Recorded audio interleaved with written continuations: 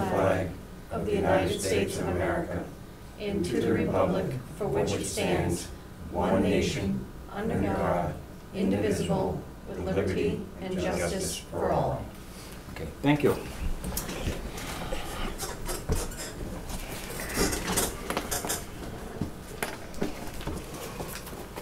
Do we have minutes tonight or, Uh, yep, okay. I don't know if you guys got a chance to, These are just to review the finance committee joint meeting minutes? Is that? these are ones that Phil had Okay. taken care of.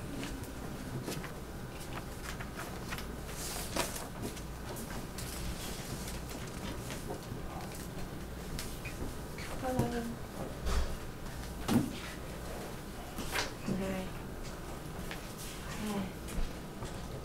Misunderstood.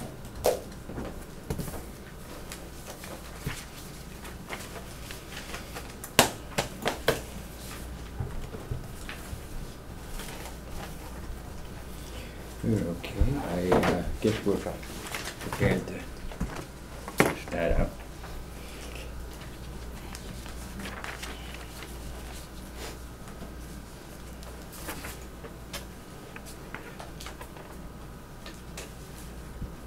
Thank you. Okay, we have a, a number of things on our agenda for this evening, and the first order that we have is we have a, uh, a hearing related to a uh, dangerous dog. We have quite an extensive report. Also from uh, Laura Pease, our Regional Animal Control Officer, I guess I can start off with you, if you could fill us in a little bit on the background of what's transpired so far. and Do you want me to just read this? You can read it, or if you want to just paraphrase, that's okay too, however you want to handle it. Um, On March 18th, um, a dog from 582 Wawinnet Road, um, under the care of um, Madison Cove, got loose off her property, went to the neighbors um, at 258 Wawinnet. Um, The two of them got into, the two dogs got into a very major dispute.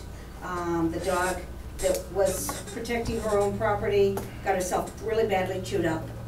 Um, and both owners got themselves bit in the process of separating the dogs. This is not the first time that um, Tater, the dog from um, 582 was loose. It was loose in, let's see, September 19th of 2016, um, and was picked up on South, um, is it South Street or South Road? South Street, isn't it? South Street. South Street. Um, At which point, because it didn't have collars or IDs on it, um, I did hold the dogs um, until an owner could be located. Um, I have some recommendations on what I think would keep this from happening again. The first thing you're going to have to decide as um, a board is whether the dog, you know, whether this is something that is worth coming in front of the selectmen, you know, because you can dismiss it, you can decide that the dog is a dangerous dog, or you can decide the dog is a nuisance dog. Okay. Now, just to uh, make sure I, I understand it, if procedurally, at least the way it used to be, when a person was bit by a dog, if they would, if they had to go for health care, the place, the healthcare place has to notify the Board of Health and then to the With the town, dog- and then it eventually gets here. Yeah, both dogs were put on the ten-day quarantine that was required, and of them showed up with rabies. Okay. And we didn't expect either dog to show up. Okay, I just wanted to make sure I understood the Yeah. procedure, so that's what brings it, Yeah, no, what brings it here is Okay. the request of one of the parties to have a hearing. okay. Okay. Okay. Board members, do you have any questions or? Can I just say one thing to Uh, correct look, this look, uh, statement? Yeah, everybody will get a chance, okay? I just want to make sure the board is ready, and then we can, you know, discuss this and somehow come to a, what I hope is an amicable solution, okay? So everybody will get a chance. I don't know if you gentlemen or, Phil, you had anything? Yeah. Okay, What's the, Phil? what's the di- distinction between a nuisance and a dangerous dog? Um, basically, a nuisance dog is a dog that has, has caused a problem, but at this point, you're not considering so dangerous that we have to put a whole bunch of, um, things on it. There's, this state, I, I don't have my state regs in front of me, but it's broken down with the state. Nuisance is, is a problem, that it- it gives you more freedom as to what you decide to do with the animal. If it goes dangerous, then there's pretty much a cookie cutter from the state as to what should be done. I have the, Okay, words with me. Oh, you do, good. okay. so there's definitions in the regs. Okay, that, that would be n- nice to know the difference between the nuisance and the dangerous as the state views it. Dangerous is defined as a dog that either, one, without justification attacks a person or domestic animal causing physical injury or death, or two, behaves in a manner that a reasonable person would believe poses an unjustified imminent threat of physical injury or death to a person or to a domestic or owned animal. That's a dangerous dog, and a, um, a nuisance dog, the definition's a little longer, it has three parts. Um, one, a nuisance dog that, one, by excessive barking or other disturbance, is a source of annoyance to a sick person residing in the vicinity. Or two, by excessive barking causing damage or other interference, a reasonable person would find such behavior disruptive to one's quiet and peaceful enjoyment. Or three, has threatened or attacked livestock, a domestic animal, or a person, but such threat or attack was not a grossly disproportionate reaction under all the circumstances. And I asked for him because I wanted, I asked that Tater be declared a nuisance dog. I didn't want him to be in danger of being put down. I think that his response, having been first, our dog was the initial aggressor. Um, and that his response, I don't think was initially grossly disproportionate, he was defending himself.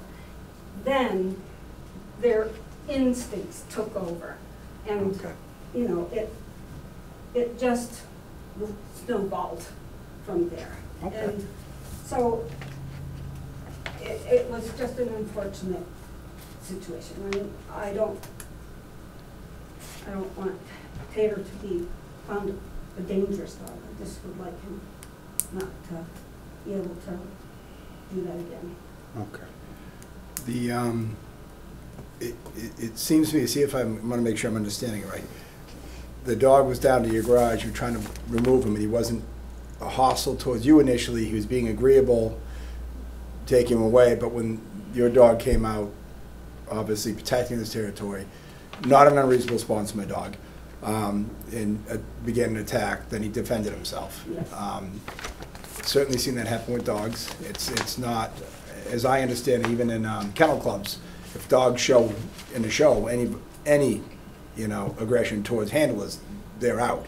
But aggression towards other dogs is expected from, from animals. So that, that doesn't surprise me. Um, I think a dog is being a dog in this case, and a dog that's allowed to wander is gonna go wander. And um, hate to see the dog punished for that. Um, I was a little bit Right. alarmed to find him in my garage. Right, right. Um, That And that's, wasn't Tater. and, No, that wasn't Tater. Okay, hold, it. just speak, please, speak through the chair, every, Okay. uh, everybody will But get. It's going, going as, as far as what, what I'm seeing here so far, it, it, it's well-written. It- I seem to, what it says lets you comprehend it pretty well. Um, You know, a, a dog being loose, obviously, we have a leash law. Um, I've had a Jack Russell. I wouldn't let him go anywhere. That little rut would go after anything. He just, he just thought he was a big, and he'd get himself killed doing it. He's just, um, he's gone now, but he, you know, because of that, I was very careful to keep him in. Didn't mean he didn't get out once in a while. The door opened, he got an opening, out he'd go, and, and then the chase was on. Um, So it, it, it's, it, it's difficult. He's not a dog that, did damage to people luckily. Um, But if he had, I'd feel responsible for that damage, and certainly medical bills and vet bills, I think would be, um, you know, certainly the responsibility of, of the dog that was not kept on its property. That, that would be my take on it. What I can tell you is that in previous times, we have dealt with that as a civil matter. Um, I don't That- think the that way that is. the, the law is written, that you as a board can, can make that decision.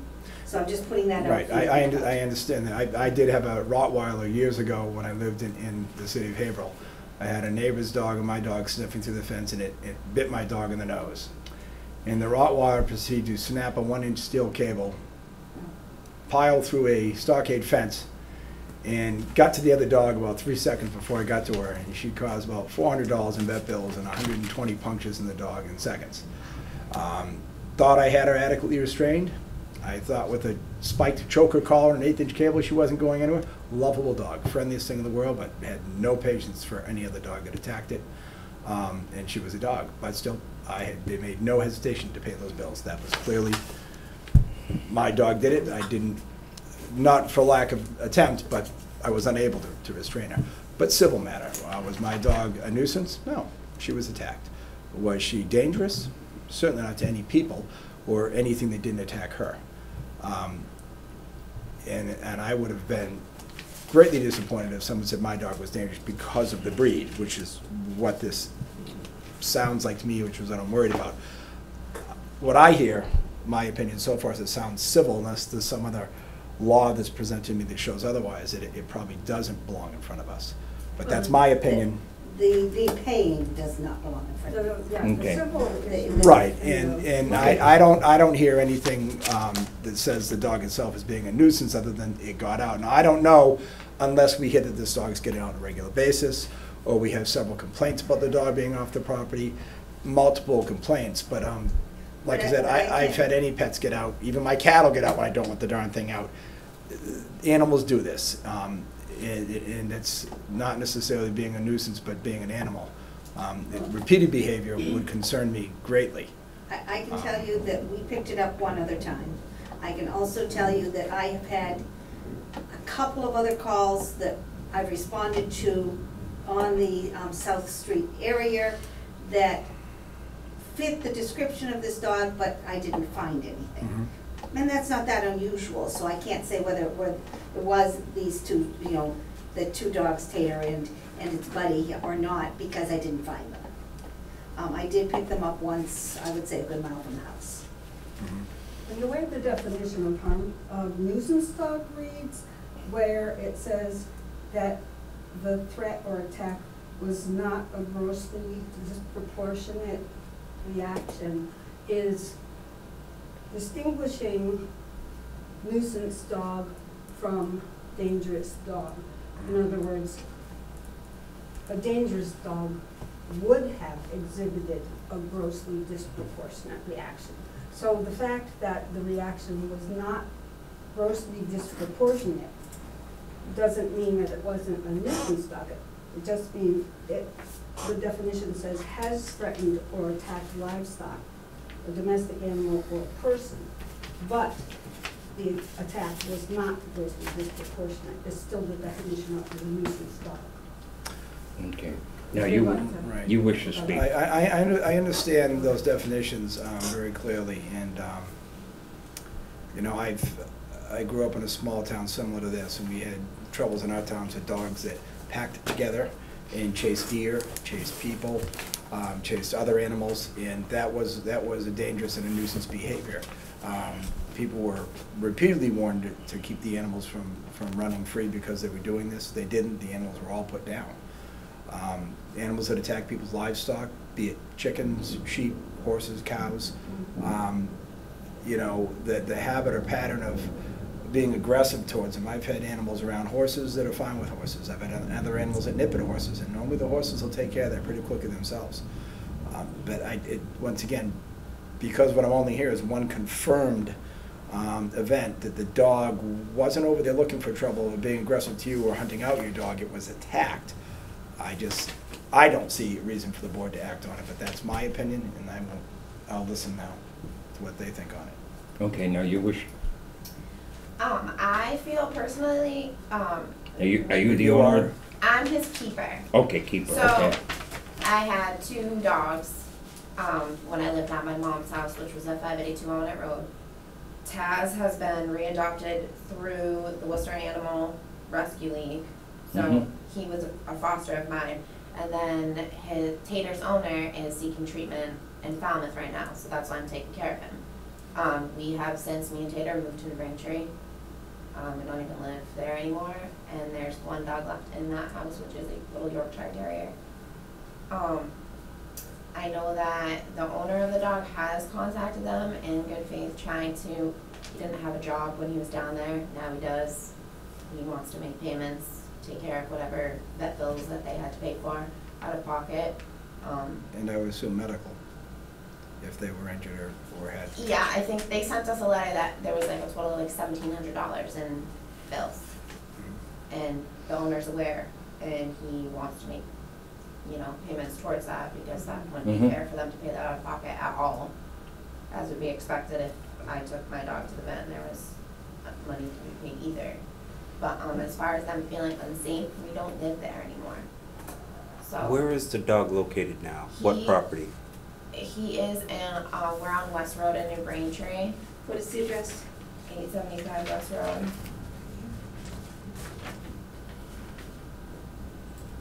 Still her jurisdiction, so. Oh, it is? Well, it is now. So I'm, I'm sure. She got pulled into the, it's So- okay. So she'll keep track of it, I'm sure. The, um, But he's not, he's not even a wanderer, like, I, I was going looking, we were looking for my other dog and he, like, he doesn't leave the yard ever, it's because I left the yard, then he left the yard. And, like, in a pack, when like Taz, like, when they got out in September, they were on their lines outside, Taz pulled his collar, they were pack animals and they were pretty bonded, Peter went with him. Um, but there's no longer Taz, he's been readopted, he has a home, he was, you know, not relevant. Okay. So what was, what, what was the request before the board to make a, just to make a declaration of a nuisance on this dog or? Because what, what's the request before the board on this?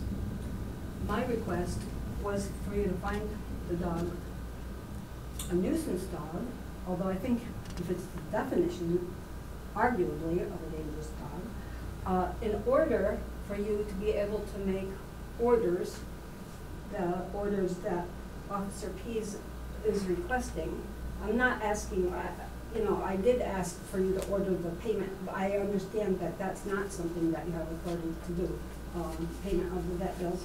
Um, and it's true that the owner did call me and offer to pay the vet bills, so I'm not bringing that matter before the board. Um,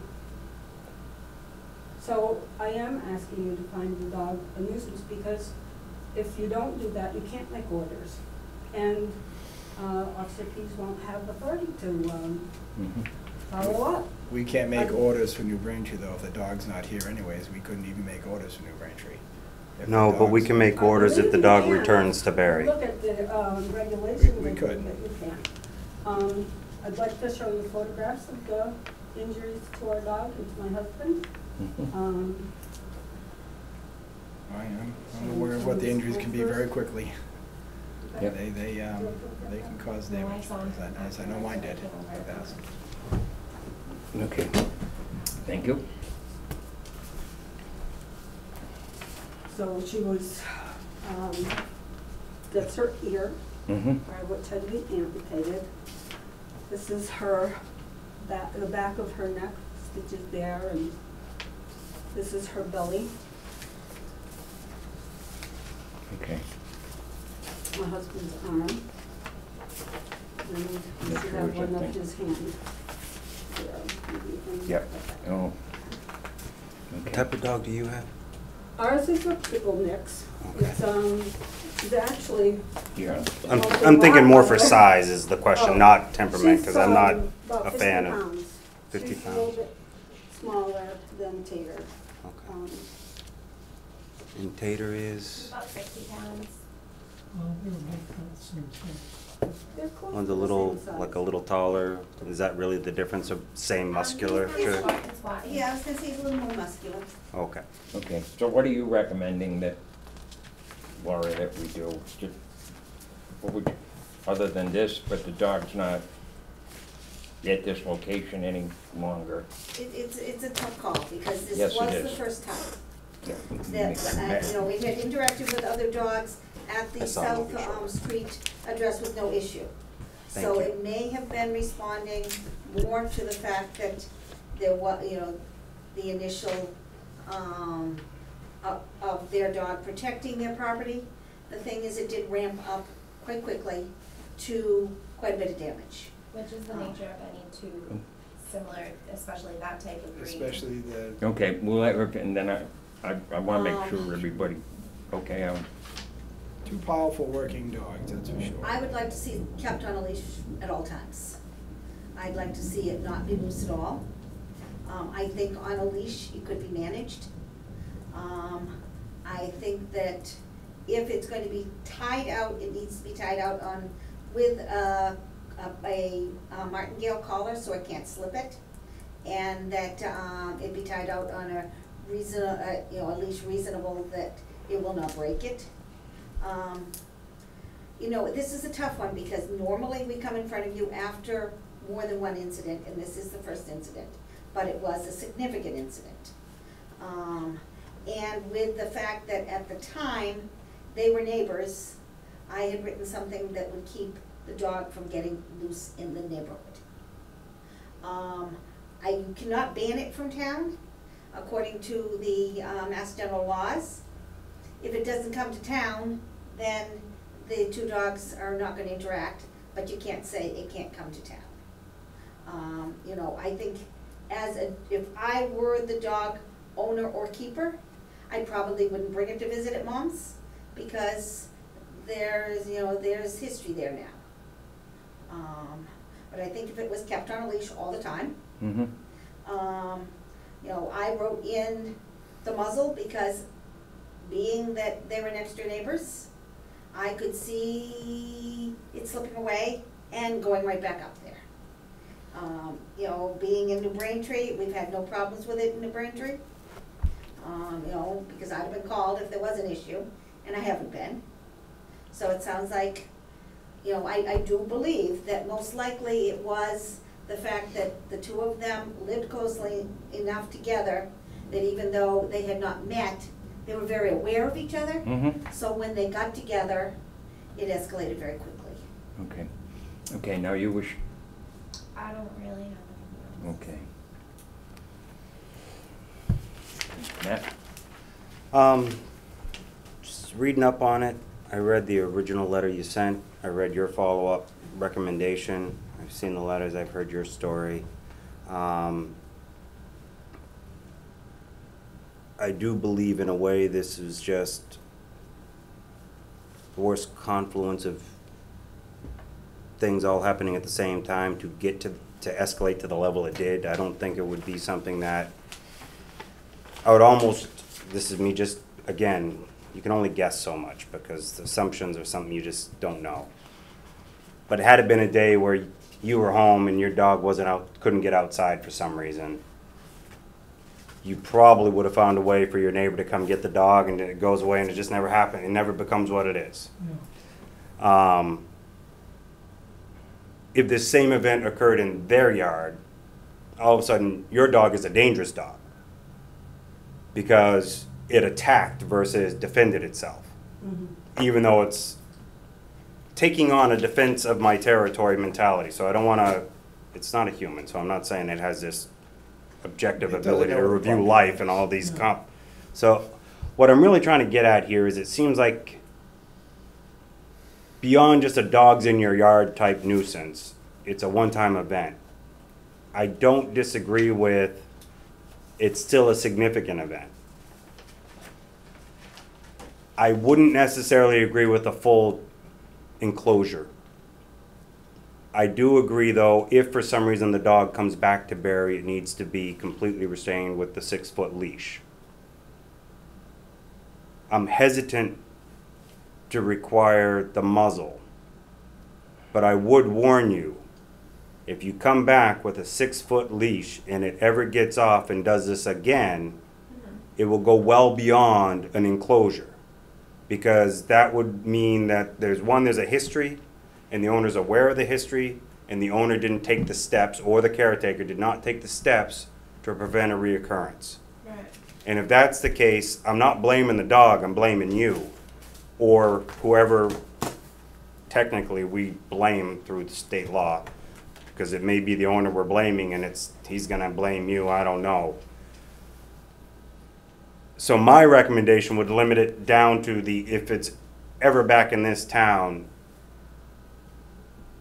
it doesn't leave your yard without a leash, and I would highly recommend you never let it out of the front door without a leash. Just for the potential, it might think it's nice to say hi to your neighbor, and then your neighbor's dog says it's not nice to say hi to my owner.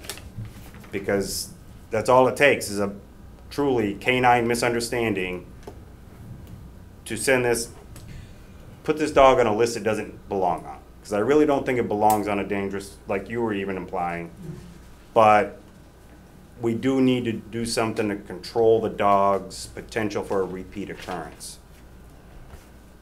I'm not sitting here saying that, I don't know how she would enforce it, like if she saw you walking and it didn't have a leash on, does that mean she now comes after you? Or is it, it should have been, maybe she plays her verbal warnings long enough depending on, but if it ever gets away from you again and causes it, this goes right to the top of the list of dangerous animal. Do we not have a And it'd be your fault, so just keep that in mind. It would, No, I We understand. do have a Okay. leash law, We do have- and that's really all I would recommend is, which means that, a leash law means that if it's off your property, it has to be on a leash.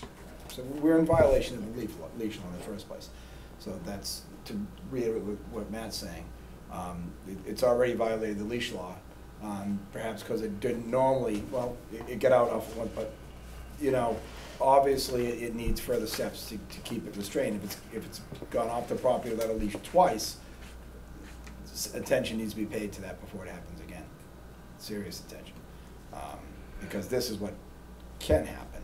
Um, My experience, once again, with my large dog, Rottweiler, every dog that saw her wanted to attack her. She's the friendliest dog in the world. I was around my infant children, nothing but love, but would not tolerate aggression from another dog. And she had the strength and power to see her side of it through. Didn't stop other dogs from turning because they were scared or whatever the, the reason was, dogs would attack her. And if she wasn't on the leash, which I always kept her on a leash, um, I'm sure she would have killed several dogs. Not because she's a vicious killer looking for it, but when things attack these strong dogs, as you own the same type, you know, if a little Yorkie attacked your dog, she would put it down in an instant. There would be no hesitation. Um, and, you know, to try to think about this on the, other, we're all dog lovers here, right? We all have dogs, we like our dogs, we care a lot about our dogs, they're part of our family.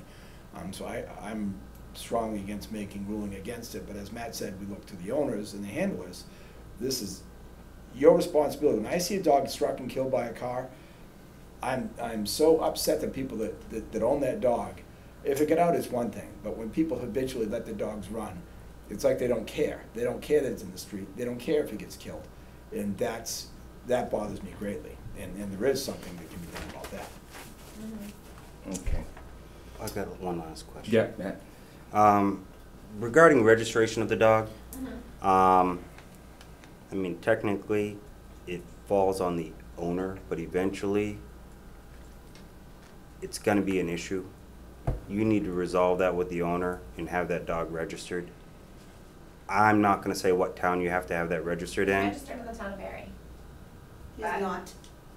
I talked to the, uh, the town clerk, said it is not licensed for this year in the town of Barre. Uh, We registered him in September because we needed the registration to get him back. Okay, that's, That was it- last year. in, Yeah. So not in a one-year period like you No, do with two no, thousand it's seventeen as started, of was the- different. April. April. Okay. you have to exactly, what they gave you was a license for four months or so, and then you gotta re-up. They run In April, April and- April to April. So you missed the deadline, we'll leave it at that, so. June first? Hmm? They begin April, they, deadline is before Um, June first, I think yes. the deadline's June But they, 1st, they yeah. start Yeah. in the end of April. That's But- fine, I But don't- there's, no, but there's The there's. penalties start in June. It's They sort of like want you trailer in April. registrations of the plate, I don't care if you register in November, you gotta do it again in January. Yeah. They Okay. expire in December. All I'm asking, whether it's Barre or it ends up being New Braintree now, it would be, I would request that you get it registered in the next month, Absolutely. and then you show Laura the registration so she knows that it's been done. Because she now is also the animal control officer in New Braintree, so if it's either New Braintree or Barre, have it done, and then just give her the heads up, I did it, I am trying to act and follow, and, and that'll go a long way, Absolutely. so. Okay. I'll let you know. Okay, can you just reiterate once So- more what your recommendation? Okay, what, what I'm hearing, my, my recommendation is that it be on a leash whenever it's in town. Mhm. Uh, but in order to do that, you're going to have to deem it a nuisance dog to put an order on it. Okay. If you choose not to put an order on it, we still have a leash law in town. And then I enforce the leash law if a dog is loose. But, um, I can't force someone to put a dog on a leash on their own property or their mother's property if they have permission to use their mother's property. The problem with it being loose on mother's property is the next door neighbor is right up the hill. You can see the house. Mm-hmm. I don't think it's the, the width of, of the diagonal of this, um, building be, between the two properties, so in a minute, there could be, you know, you could have another problem. So. Do you have an issue with that? No. Thank you, I was I, just, I would rather just the leash law be enforced when he's in the town of Erie, which he hasn't been, which is not relevant, I mean, my mom lives there, but, I mean, to say that he's a nuisance dog isn't necessarily fair, especially if this is the first incident, that this is the first instance this has ever happened. Or, and it's never happened since. I understand. I'd feel. how does that carry from town to town under state law? Um, state law, once it's deemed something, it's deemed in all of Massachusetts. So a nuisance dog is a nuisance dog, which Yeah. means it now can be a dangerous dog in this based on history, Um, depending on how another town, Yeah, absolutely, yeah, and because it, it does carry with it. Okay, so it's a new, if we said it's a If nuisance you dog, it was a it- nuisance, it would it's be a nuisance nuisance in dog Massachusetts. in another community, Yeah. and if they said that it would, and it came back, it would be a nuisance, still Yeah. a nuisance, okay. but this whole file would be part of that claim. Yes, So if another town recognizes a similar instance, or another instance, but it came before them, they can bring the whole history They can together say and It then was deemed create a nuisance in pattern Barre, issue. And Okay. now we're seeing the same behavior here, and so we're, we're choosing to up the ante, absolutely they could. Even if he goes to another jurisdiction entirely. Yeah, uh, anywhere in Massachusetts, um, the law carries.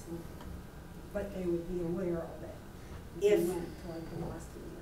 If it went to the Boston area, they would have to contact us and say, have you had any issue? And we'd say, yes, we have a nuisance order on this dog, Mhm. and they would, um, you know, if there was another issue, they might choose to take the previous history and carry it forward. Let me ask one question, it's hypothetical.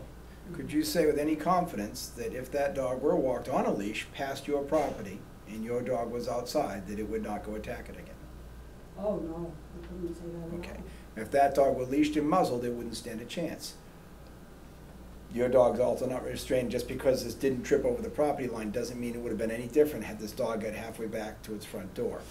I'm strongly against labeling this dog because of one incident. I I understand it was a horrible incident, and I understand it's very unfortunate the way it happened. Dogs will be dogs, and owners of dogs um, need to be very careful. I don't let mine out without a leash, they've gotten off. I've always had a run, they always go on it. Um, You know, If Okay, you did choose nuisance, you do not have to go with all of my recommendations. but it carries with the dog barriers. statewide, and someone else may take a Yeah, a harsher stance on that, I think unreasonably so for the animal. Don't forget also, Greg, if we did do nuisance, you also have the right to write in your own opinion to put into the file as to why it was deemed nuisance and why you chose only a leash or only, you can write in your opinion.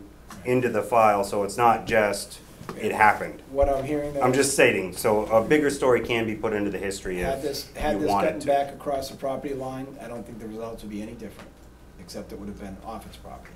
And, uh, yeah, You know what I mean? Uh, It, it's bad circumstance, and, um, had it, had it gone ac- across the property line, then someone could say that your dog attacked their dog off the property, and that was a hostile Mhm. act after another dog, and then it's, then it's borderline on dangerous.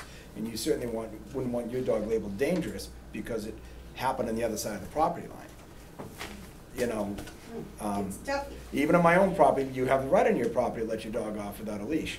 I don't do it on mine because of this. I've seen these things, I learned my lesson on my big dog years ago, and she was even restrained. Um, My, my stockade went to chain link after that, so she couldn't do that again. Um, But I, I look at the owners of the dogs to, you know, be careful with, with their pets. And um, the animals don't know where the property line is. This dog wasn't the aggressor. Um, Had this been on the other side of the property line, this would not have changed, except for we'll be looking at dangerous on your dog, which wouldn't be fun. And if they do walk that dog down the street, which they do have every right to do on a leash, and heaven forbid it's muzzled, and your dog saw it, it, we could have a dead dog, and then we'd have two dead dogs, because yours would be dangerous, it would have killed another animal off its property, and, and the repercussions would be pretty severe. I, I don't wanna go down that path. Okay, let's, uh, see if we can bring this, uh, to a head. Do I have a, a motion? to- I have a motion to dismiss. Hmm? I have a motion to take no action on this. Okay. Do I have a second to that?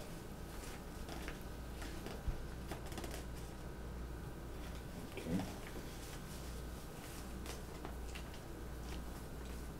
Then do I have another, different motion, I guess? Not for me. Okay, yeah, I kinda figured that.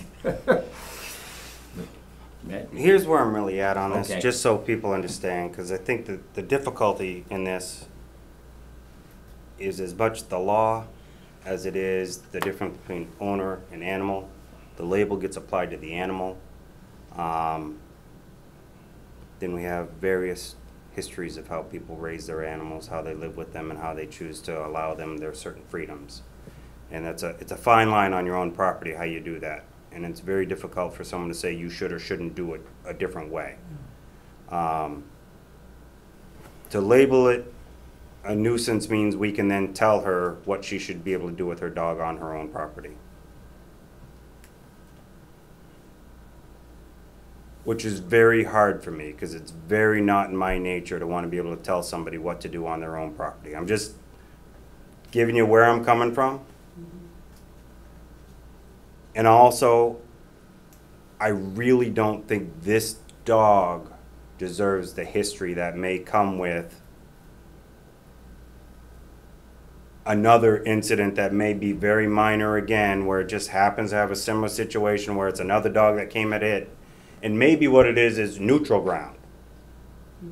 Two dogs are out in public somewhere on somebody else's farmland. They see each other, they fight. Her dog wins or is equally hurt, but it doesn't matter. But now somebody says that dog did this in another town. Now all of a sudden, this dog has got something that's grown into something bigger than what it is, and it's more because of the free run. So I don't know how more strongly I could say this, but it's the free run that's going to put this dog in jeopardy more than the dog's personality. I take full responsibility. I understand. And because of that,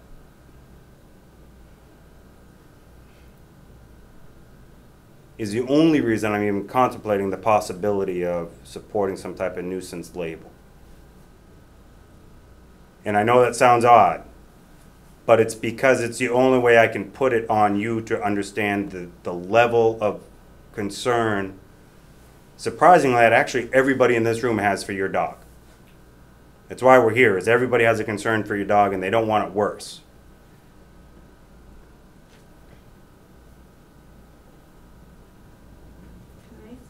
Okay. I, can I skip Yeah. I just, I just want to say that I've, I've learned a lot just sitting here, listening to all of your opinions, and, um, I do want an amicable resolution to Mhm. this. And I, the more I think about it, the more, and the more I listen to you, I think that the regulations were written for, uh, a situation where a dog has probably been involved in more than one incident and, and not an isolated incident like this was. And I, so I think I'd like to withdraw my request for the nuisance finding and, um,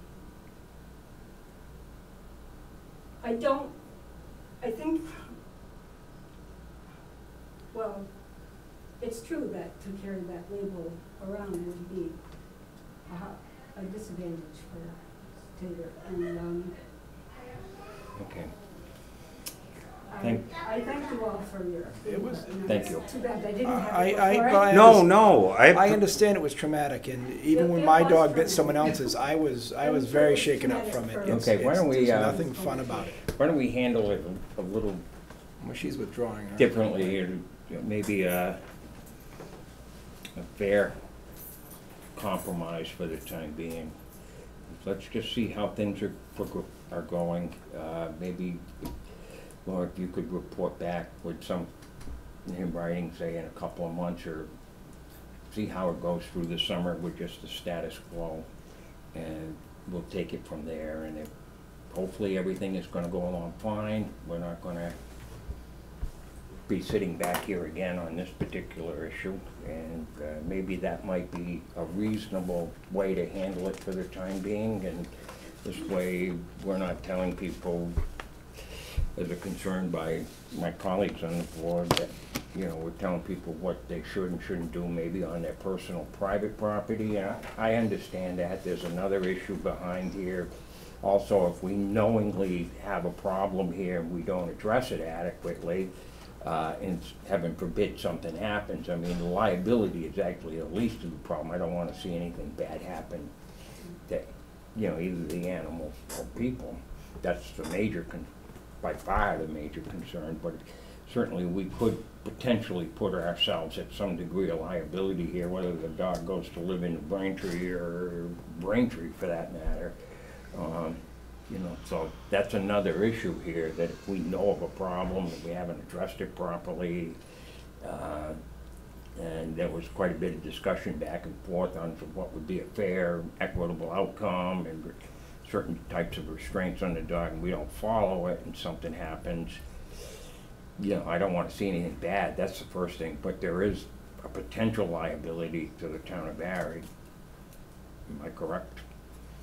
It'd be like us saying, we got a, you know, something we should have fixed on the road, we knew about it, and for whatever reason, somebody took four years to not deal with it, then because we knew about it, first and foremost, we're, we're liable.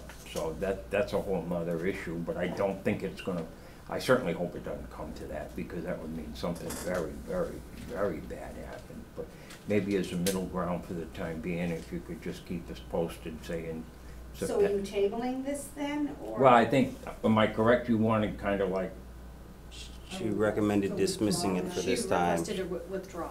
yeah, Like withdrawal. A repeat uh, offender would be bringing a new thing to table, and we can Yeah. use this as a historical record to go to a second. It's just a story, not a, not a record against Yeah, it. It's not a and I know state how bad record, it it's is. I've just. been through a few of these, we don't, thanks to you, we don't have anywhere near the number we used to have. But, uh, we've had a few. Yeah, I know how far they can go, and it can go to actual disposition of the animal in the end, and we have done that.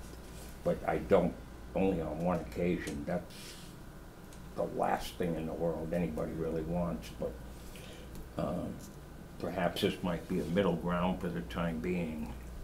I don't know if you call it tabling or whatever. Does that seem like a reasonable, I mean, it's, it's totally up to you guys. yeah, I know Um, that. I, you know, I come from, I give a dog one bite, but this was a serious bite. You know, normally I, I talk with the, the people and say, you know, this is, I, I say to the dog owner, you now know you have an issue, let's work with Mhm. never seeing it happen again. I say to the, um, person, the person whose dog was attacked, that, you know, normally, um, I recommend that the owner, you know, take care of your vet bills, I can't make it happen, and that, um, I will work with the person and make recommendations. I always say to them, you are within your Mhm. rights to write it to selectmen, Okay, and that's how I usually handle the first, okay, unless, but this was very, very serious. okay. What And does that's why we ended up here. the board think, my colleagues here think of my Well, My, suggestion? my opinion is that, is that, um, if the dog was on a leash, if you followed the leash law, then, then it would've been okay, Mm-hmm, you know. What's the standard leash law? Um, Issue, Anytime it's like, off your uh, own property, it's supposed to be on a leash. There is no recommendation on the length of the leash, so someone can use a, a forty-foot leash if they want to, but it has to be on a leash. What's the Is- penalty for not following the law? Um, fine, I isn't it? wanna say it's twenty, but I'm not positive I on don't that. collect But it's those just a tickets, general so I don't know. fine. Yeah. I usually, again, I usually give person, first one is a verbal. Okay. Okay. Would you? Well, I would, I would think that the ACO has this, obviously, in, in her files, and now has record of the dog and knows the address. Um, I don't see any need for us to do any further storing of the information. Okay, And given the, the, their wishes to withdraw, I would, I would think that we should Okay. allow this okay. motion to be withdrawn. Okay. I would, uh, I would move that we let the, allow them to withdraw the motion. Okay, do I have a second to that? I second that. Okay, discussion.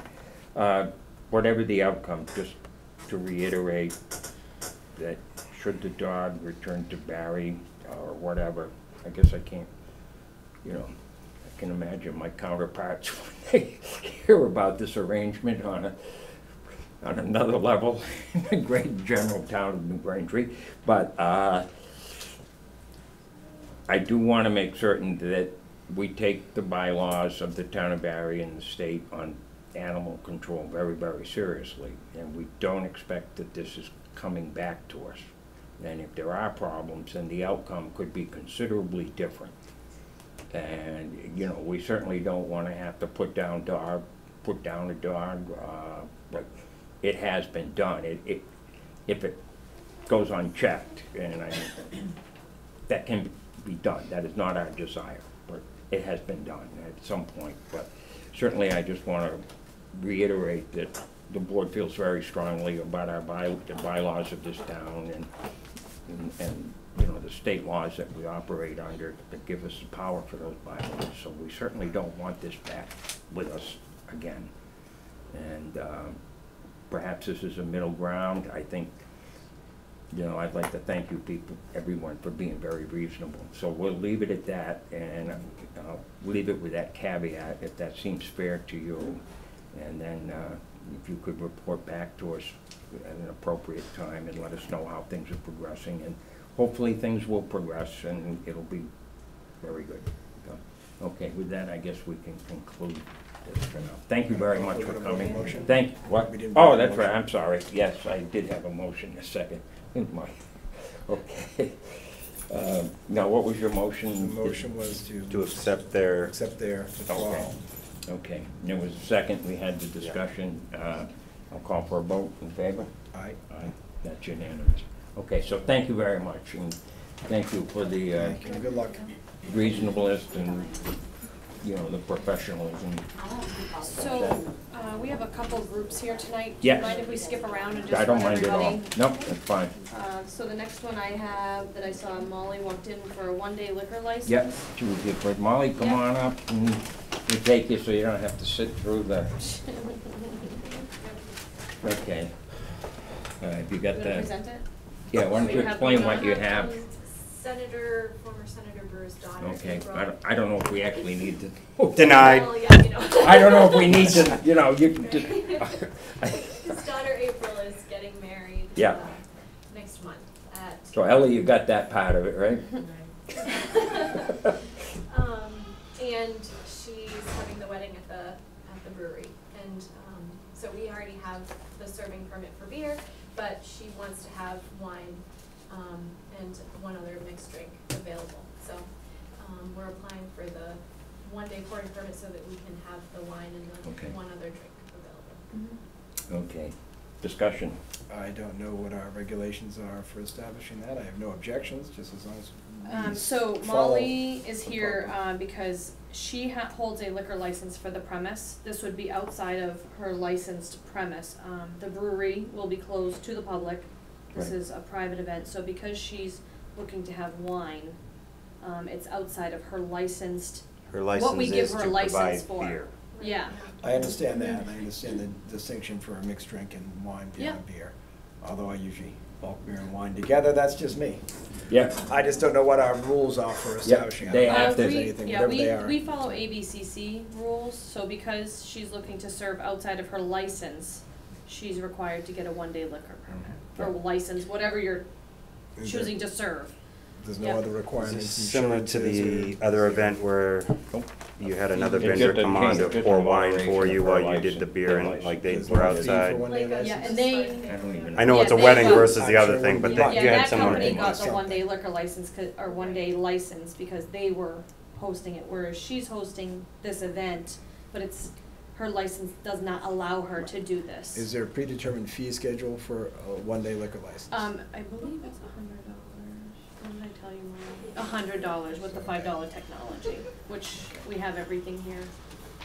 So we're Um, not breaking any new ground here. No, we're not breaking No. any ground. Works here. for me. yeah, this is, uh, we've done this in other establishments in the town where, um, say they wanna have, um, an outside event where their license doesn't cover them to have it outside. Mm-hmm. Um, so they apply for a one day to have this special one, whatever they're doing outside for the day. Okay. Okay, do I have a motion? Make a motion to accept. Okay, is there a second? Second. Okay, any further discussion? Do you have any questions or comments for us? Okay, with that, I'll call for a vote. All right. Aye. Okay, I guess we're all set. Thank you. Thank you. Thank you for Good coming. event. Uh, I see. The youth Do you commission. wanna hold on, Adam, or do you wanna, I think these guys have a quick request, correct? Who? Yeah. Sue? Youth commission, Yeah.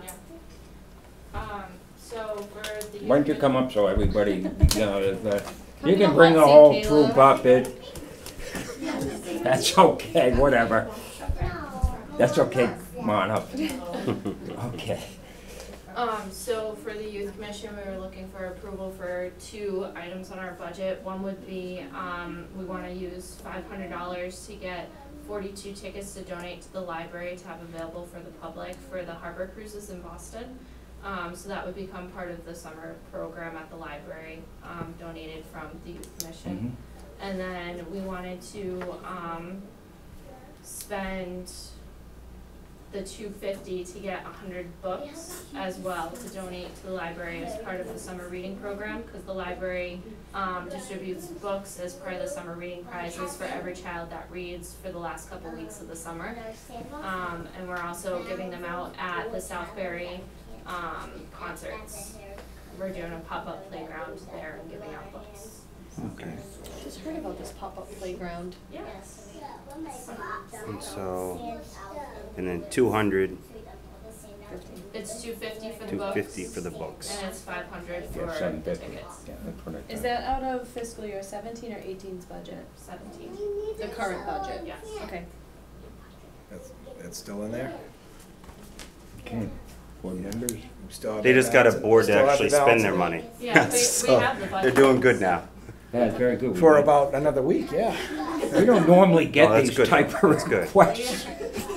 Just asking if they, Spend their own money. No, that yeah, is, it's it's very unusual. I would make a That's why motion, we sit here like, kinda like take, taken aback a little bit. This is a little I'd make different. a motion to, um, allow them to spend the funds as they've requested here.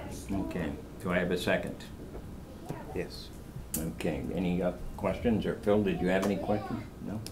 Okay. Okay, with that said, I'll call for a vote, in favor? Aye? All right. That's unanimous. Thank you Okay. much. Is there anything else? Okay, thank you. Thanks. Thank you for coming, in. thank you for your help. Thank you. Thank you for behaving so well, you two. You were very quiet and well behaved. They're always good. And this is That how you, Very good. yeah, that gets them started in,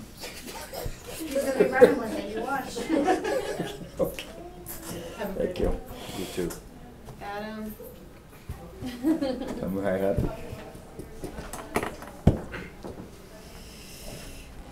Howdy, sir. How are you? Good, how are you?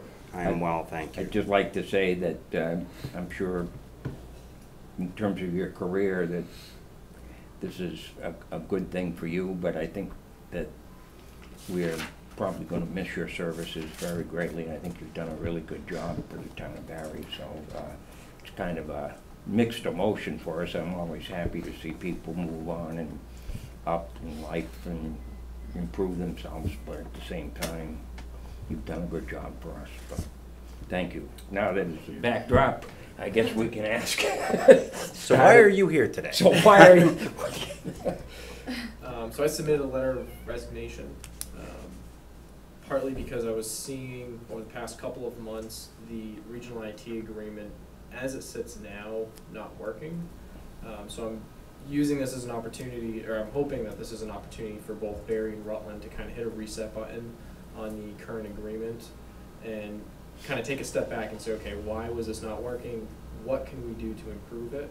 I don't think you should um, throw out regionalization. I think there's definitely benefits. Um, I mean, the shared uh, hardware infrastructure is huge. That saves both towns about five to ten thousand dollars a year. Um, so I think there's benefits in sharing services, sharing equipment, uh, sharing resources. Um, but I just don't think that the current structure of the regional agreement um, is working out well. Um, I don't think departments are getting the response times that they deserve. I don't think um, it's fair to the person that has to fill the position. So, for example, I have to serve uh, a lot of twenty-four seven departments. I'm only one person. Uh, God forbid I took it, decided to go somewhere without cell service. Um, what, I, I, I don't know what would happen, um, as far as backfilling if there was an issue. Uh, thunderstorms create issues for us, uh, because of the radio towers. Um, so if something did go down, I'm not sure, there's no levels of redundancy built in to the regional department. Um,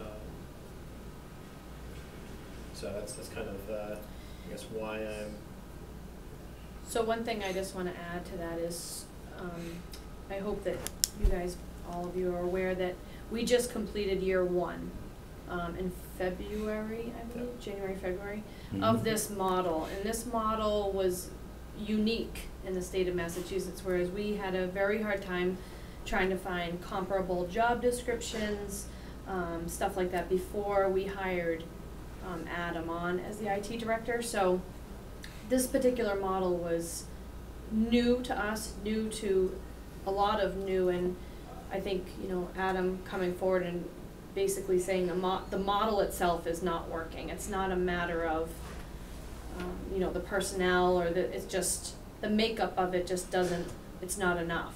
Mhm. So some of the challenges we face is obviously time, um, and allocation of time, um, and then having to drive between uh, municipalities all the time, or coming in on a Saturday or Sunday because uh, someone in public safety is having an issue, which you can't blame them. They're a twenty-four seven department, so their their three to eleven or their eleven to seven is their workday. Mhm. Um, It's so their nine to five. Exactly, so it's, it's not, it's not fair, it's not fair to them. Uh, I think they're, they're the ones that I think were heavy, heavy hitters, calling at eleven o'clock at night. Mhm. Oh, forgot my password, uh, but that's the same, can't get, can't get mad at them, it's the same thing as if someone forgot their password, um, at nine AM in the morning. Um, So that's, that's just how it is. Um, I'd recommend the town looks into different options with Rutland, um, and seeing how you can continue to make it work. Um, I think it's really beneficial, uh, but I think this is an opportunity to hit a reset button and say, okay, let's relook at how everything functions, for the towns. Are you saying pretty much the issue is the twenty-four seven coverage that one man can't keep? Twenty-four seven coverage, and if we did, cause I was, I was looking at adding other towns, we had Paxton and Princeton interested in joining, uh, but the process to onboard them, um, was kinda slow because of the way, uh, government works. So it, it was gonna take until, so I think Paxton and Princeton were interested in joining July, August of twenty sixteen. They wouldn't actually be able to join until July, August of twenty seventeen. Um, And that would have helped address some of the funding issues to add additional staffing. Um, But even then, once you start adding additional staffing, now we're looking at how are we going to pay those staff members to drive now even a further distance? Because now we're gonna have to have people, Mm. um, drive from, uh, maybe Barre to Paxton or Paxton to Rutland. Um, So then, and now we're, now we're facing those challenges. Um, So there, there's, there's a couple different challenges, I think.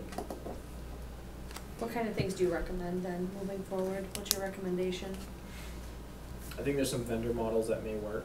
Um, I think not getting rid of the, um, shared hardware, I think that's, that's a huge, uh, cost savings to both, to both municipalities. Uh, basically, what I did with the hardware sharing was I made it rather than Barre purchasing two server infrastructures, uh, or two sets of servers, um, one for redundancy purposes. Uh, it's set so Barre fails over to Rutland, and then Rutland fails over to Barre, so we were able to not purchase redundant hardware, um, for Barre and the same for Rutland. So we have our own primary servers, but we're using each other as the backup, As backups. Um, like virtual servers within. Exact- Yep, which just saves money for both ones, because the backup's only good if you need it. Um, If Exactly. you don't need it, you just spend, you could, you know, you, s- you spend ten thousand dollars in infrastructure that still has to get replaced because the time's ticking and it's still getting outdated. Um, Mhm. So for towns this small, it, it's, it's sometimes difficult to, uh, justify purchasing, um, the level of backup that they should have. Uh, but with cost sharing between towns, it, it works out. Um, But I would, I would look at all, all models, uh, vendor models, maybe talking with Rutland to see how you can reshape the, um, the current regional agreement. Uh, Part of the, part of the other issues is I don't think the, proportionally, I know when the agreement was first put forth, um, they just did thirty-three percent across the board, uh, Mhm. thirty-three for Barre, thirty-three for Rutland, and then thirty-three for dispatch. I think dispatch is less than thirty-three percent, I think Rutland's more than thirty-three percent of utilization. Um, and then Barre, I'd say, is kind of spot on as far as, uh, Do you have those, those hours logged in any way to have an idea where they went? Because that would certainly help us in, in reforming agreement to see where that really goes. Yes. Second question, do you really want out, or do you want to stay if we can fix some things? Like perhaps Um, on-call fees for after, late hours or things like that, that can be assessed to whoever needs. Someone forgets their, their, you know, their, their call, we can have a fee assessed for that. A fee which goes obviously to you for coming outside the service hours. We don't count that in the tracked hours, but that's a fee um, for going to do a reset because someone couldn't keep track of their password. so I think, um, I'd rather not see you go personally, so. And I don't know if that's possible, but that's. I think- Thinking out loud here because Yeah. we get to do it. I mean, I think we all would have that same comment. Mhm. Um, You know, I think a lot of us understand, where, you know, the time is, you know, where, you know, everybody has maybe an idea or wants something done yesterday or what have you, but we all, I think, understand the time, you know, everything is prioritized and that's just how it worked. But, I mean, maybe we can, you know, talk to Rutland, see what kind of vendor model we can come up with. I mean, I'm sure there's Are there- gotta be a uh, solution Is to it it, possible so. to find qualified vendors that you'd feel comfortable coming in and working with? Let- Let's say you were still doing it and you didn't get the calls after hour. Do you have uh, vendors that you'd feel comfortable coming in and working on these systems if they were, on- So, if they so were on part of, call? part of the reason I did this, uh, I mean, it's not a secret, I have a private IT company. Mhm. And I know that, and that when, because we did start looking at adding additional staff.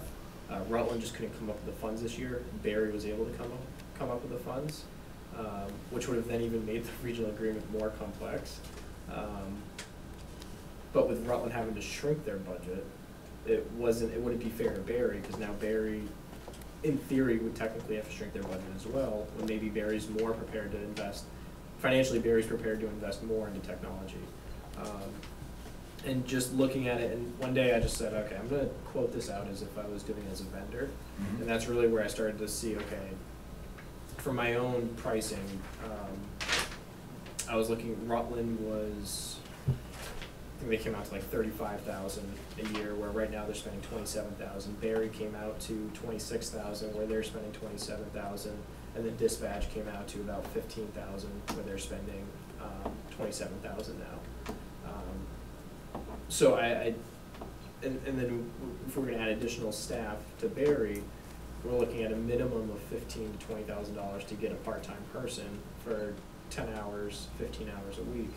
Um, which then would bring Barre's total, uh, expenditures on IT up to, spending twenty-seven thousand now, so, um, forty-two thousand, which is more than I think they should be spending. It's just a matter of having the right resources to be able to spread, to spread out. Um, so I was also looking at it like from a vendor model, I believe I could do it better in that regards. Um, so that, that's kind of where I was getting stuck, is it's like, do I, do I lead Barre and Rutland down a path where they're gonna spend more than they should be spending? Um, to house an in, internal department? Or do we kind of hit a reset button and let everybody rethink everything and then see, does a vendor model make sense for us? Or, no, it doesn't, actually, it doesn't make sense. Let's Mhm. stick with a, um, let's stick with a, uh, in-house department like, like you have been doing. Um, Market trends in the private sector is people are starting to outsource IT. A lot of hospitals, you see that move happening in, uh, hospitals right now, partly because of liability. Um, but they're starting to outsource IT, and you're starting to see managed IT because things are becoming automated. Um, and kind of replacing themselves, like passwords with biometrics now on your devices. I mean, iPhones have, most devices now have fingerprint readers and Surfaces have facial recognition. Um, so that automates the password process. Um, which if you had an internal department, it's kind of tough to make sure that they're moving along that, uh, that road. So I mean, I, I really looked at this from two angles. I was looking at it, and I- it's really, I mean, that's a decision, I guess, of the boards of both Rutland and Barre to look at both models and decide which one they think, um, makes the most sense for the town. Um, But I was looking at it from both angles as well, and I, I just think cost-wise, it's not fair to lead Barre down a path where they're gonna spend fifteen thousand a year more and then still not get the level of Mhm. service they need. Cause you really do need someone that's twenty-four seven, and if we add someone ten hours a week, it's still not bringing that twenty-four seven, and then odds are that person's gonna wanna work, um, close to the same hours I'm already working. Um, So it does overlap coverage versus extending coverage. So in order to go out to vendor services, we just have to put a bid out, correct? Request for proposals, is that what that is? Um, it'd be an RF, RFQ for, uh, you can do an RFP. IT's and R for qualifications, not a, Uh, for a request, you can do an defined RF scope. You can do a request for quotes, um, because it's under fifty thousand under the procurement law. Or you can do a RFP, a request for proposals, which is typically over, uh, fifty thousand services. Um, in Barre's case, it'd be under fifty thousand, so you can either solicit for quotes, or you can do a full, uh, proposal. Um, I should say that uh, Rutland has already put out a request for uh, quotes to three different vendors. They haven't come in yet. Actually, uh, Adams Firm is one of them. Hmm. Well- Adams Firm is one of the three that Rutland is soliciting. And Barre could do the same solicitation in the Mhm. same. I've asked Adam to take a look at the Rutland solicitation and, and tailor the one, one to Barre based on what they have. And there's different components to it, but it needs to be tailored to Barre. And then we could also, uh, do a request for quotes as well. If he does that, though, does that not exclude him from bidding on that same, because he wrote the bid spec? So I reached out to ethics, to check on that. Um, and there's a form that I fill out, and just saying that, so it allows me to guide the town, uh, as far as generating an RFQ, or request for quotes, or an RFP. Um, and the form just says that I have a financial interest in actually providing a quote, um, to the town. Um, and then it clears me of anything. Uh, and they also said that if I was selected, it's as if I never left the town. I'm still considered a town employee, it's just my payment model has changed. Mhm. Okay, I see what they're saying. No, wait. So you still accrue retirement years?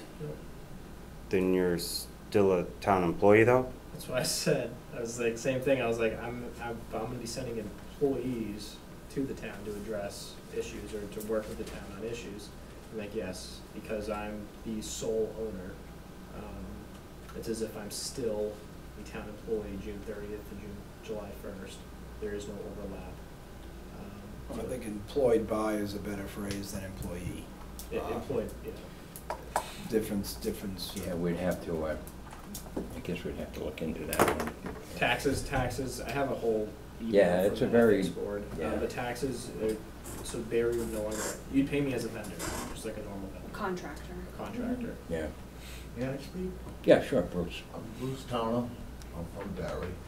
I'm here on behalf of my wife Natalie Towner, and she was supposed to be here on behalf of the Barre Health Center. Was there an article for someone seeking a marijuana license?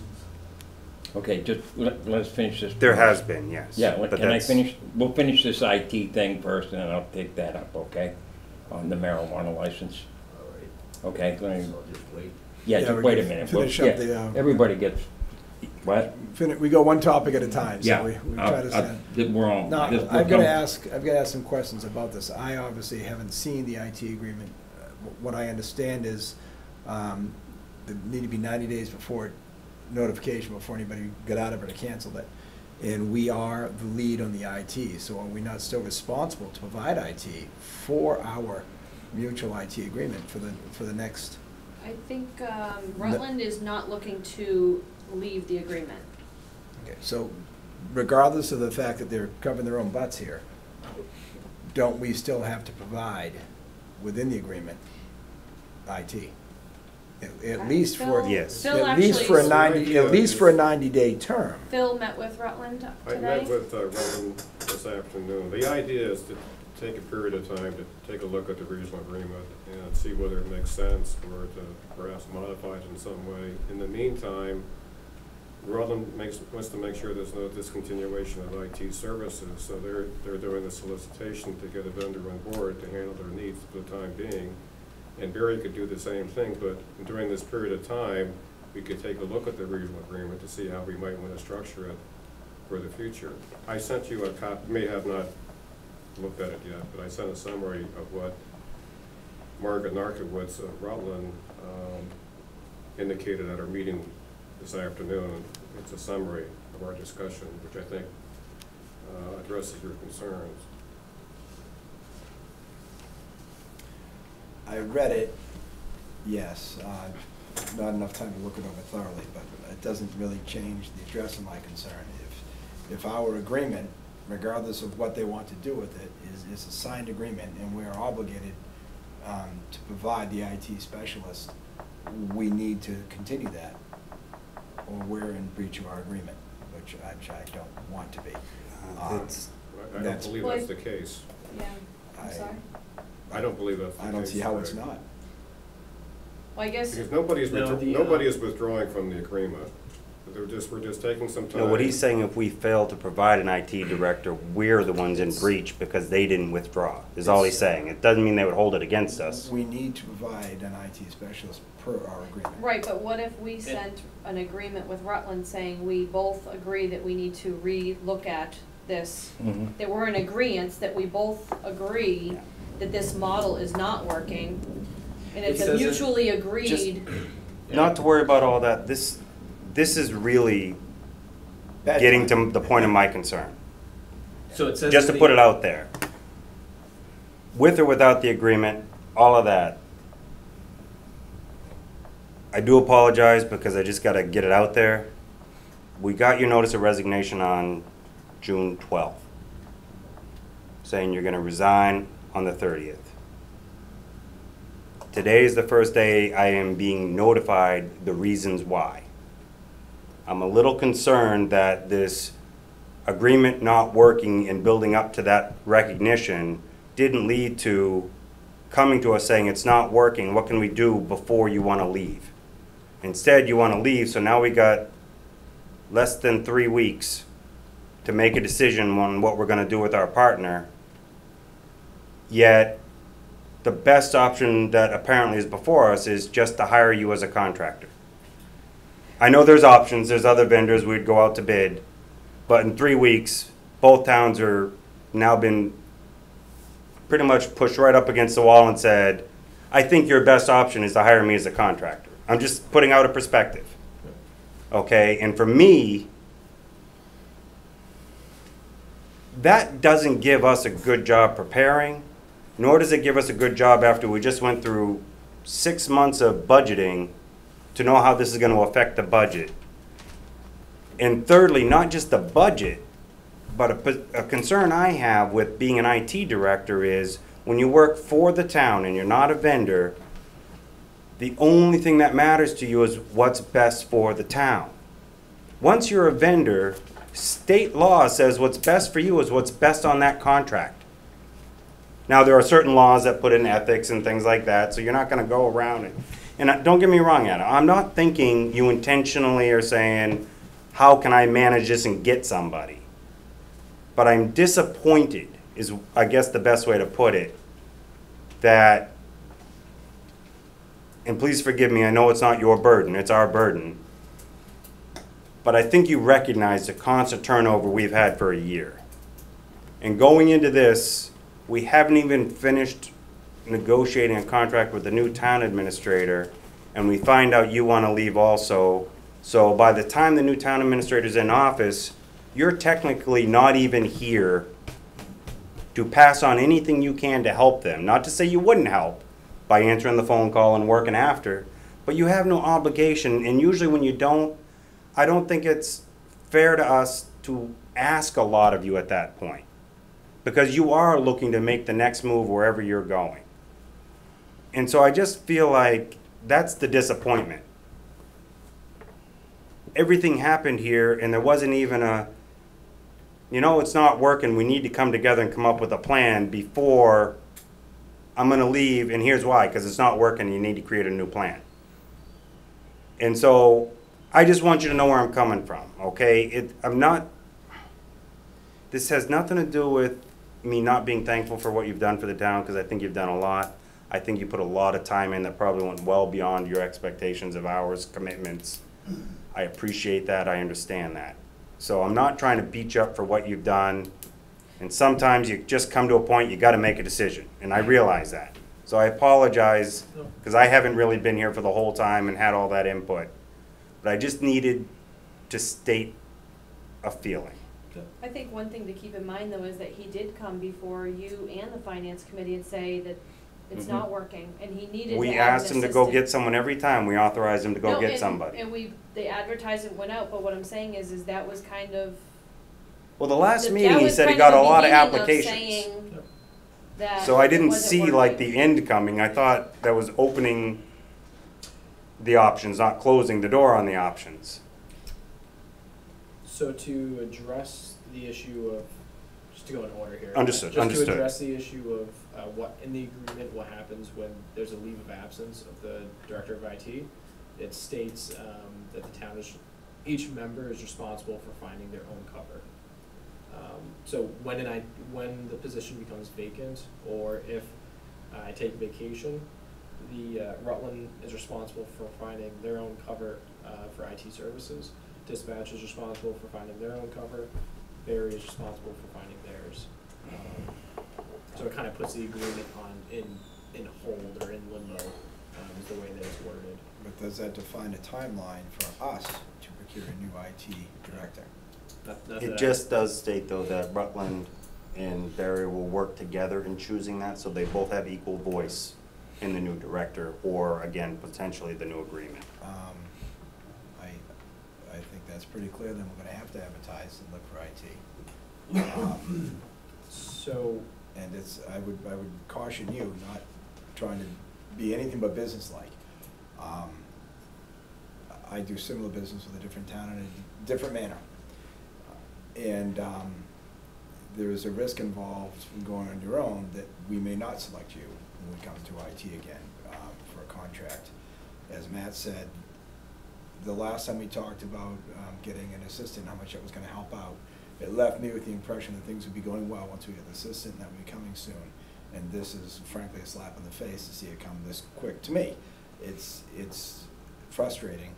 Understand, you wanna do what's right for you, and I'm never gonna say that's not, that's not a good thing for you to do. Um, But it's something we have to consider when moving forward with, um, anything in IT. Um, I would be much more cautious, um, when we write a contract for stipulations on timelines, um, needed before someone leaves such a position, because I, I think three weeks doesn't give us much time to really, give, given, as you know how involved it is, and, um, we need a little more leeway to be able to fit someone else in to, to, to overlap properly and have a seamless, um, conversion, and I, I feel that we will not have that. And I'm disappointed in that aspect. Um, So I just say, try, try to consider that as well, that, um, I, I think that gives us uh, a raw deal here, not, not that that's your intention, but I feel that's how we are right now. I don't think we're gonna have a seamless transition, and I think it's, it- it's um, gonna change how I would wanna see a contract written in the future for this position for a director. I think there will be restrictions on required notice and serious substantial financial penalties if someone should walk off from the job before um, the agreed upon date, which would leave us hanging, because that position now needs to be filled quickly, and quickly usually means more money. And um, I can't change the agreement, how it's written, or the past, but that's my looking forward to the But the future. agreement is with Rutland and not with Adam, just, Um, it's I'm, no, I'm separate. talking the agreement with our IT director, when we have an IT director. Your con, you're Our talking about contra- contract. Our contract with the IT director. Are you I contracted? We we need to be, Okay, so it's just based on job description. that, to me, says we need a contract, and we need some language that gives us protection in the future. Shame on us for not having it. I'm not faulting Adam for doing what's right for him. It just, it's, you know, Mhm. it's, I understand considerations for what's best for him, not for I think us. it's doing it not only for him, but what's good for the, for the region as well. I don't think it's a, a selfish thing No. It was more the timeline that was the concern, timeline. not necessarily the end result, so I please picked- forgive me, I'm not, No, that's, and I, I was afraid of that when I picked June thirtieth, but I picked June thirtieth because it's the, so there were discussions I was having before with, uh, department heads, um, really trying to get a feel for how everyone feels about how the, the agreement's gone. Um, this is something I've talked with Margaret about, I've talked with Mike at dispatch, um, and then obviously with turnover here has made it difficult for things to, for information to flow. I mean, it's no one's, it's no one's fault. Um, when someone leaves, information leaves with that person. yeah. Um, and that's something that I, I was discussing with Heather, uh, when she was still here. Um, I think it was actually in my, uh, performance evaluation, she wrote in there, um, the need for additional support. Um, so the conversations were happening, and I apologize if they didn't come more direct, uh, to the boards. Uh, but I, there, the conversations were happening in the back end, um, and, and I really feel like it's not fair, uh, to the departments. Um, and the reason I chose June thirtieth is because of the fiscal year ending. Um, rather than, I, I figured it's, it, what it allows, and I, I've told Rutland this, I will be here still to help Barre with whatever transition they choose. Um, I'm not here to, uh, burn bridges, hurt relationships with the town. Obviously, I understand town operations need to happen. Um, so I'm here to still help you guys with whatever transition you pick, and then however long it takes. Um, I just chose June thirtieth because I feel like it's better, unless you feel otherwise, then we can work out a different agreement. Um, cause I think Rutland felt I mean, this, we can revisit this conversation with Rutland and say, okay, maybe June thirtieth isn't the best date, let's change it, um, to a different date to buy everyone more time. Uh, but I thought June thirtieth was the best date because of the fiscal year Mhm. ending. So it makes billing easier. Uh, there is no more calculations that need to happen to bill Rutland. Um, but if we wanna come up with an agreement, if you guys wanna still keep me as a Barre employee for a month, um, if you feel like that's better, then we can work out an agreement, uh, for that portion. Um, but that way there, we're not billing each, I, I just felt like it was gonna become more complicated, um, trying to calculate, if Adam worked for twenty-three days, twenty-three days. um, Math is easy. No, Math I understand what you're saying. when it comes when it comes to the benefits and tracking, because I I would still be full time, um, and you'd have to calculate in my benefits. Mhm. Um, My concern is that that, I think that presents a lesser problem than us trying to find IT immediately to, to get this sorted out. Um, If we need to look at vendoring versus, you know, a director again for model, I think some time would be a fantastic thing, because that's my concern. Or quite frankly, our focus has been on, you know, has been on this, almost, almost entirely, except for all the other distractions we've had. And I would rather have this, as I said with our interviews, give, give some, some proper time and not be something we, we glass over at a meeting here in twenty minutes. And I, for one, would like to see him stay on a little longer and give us some time to sort it out, be it hiring him back as a vendor or someone else, getting something established. I think that's a great offer if, if he- would consider to stay longer to allow us the transition that we need to figure out what we're gonna do. And this should be on our, on the top of our list at our next meeting, my opinion. I would like to ask this, just, um, the reason I'd like you to stay on more would be a little continuity with the new town administrator when they come in.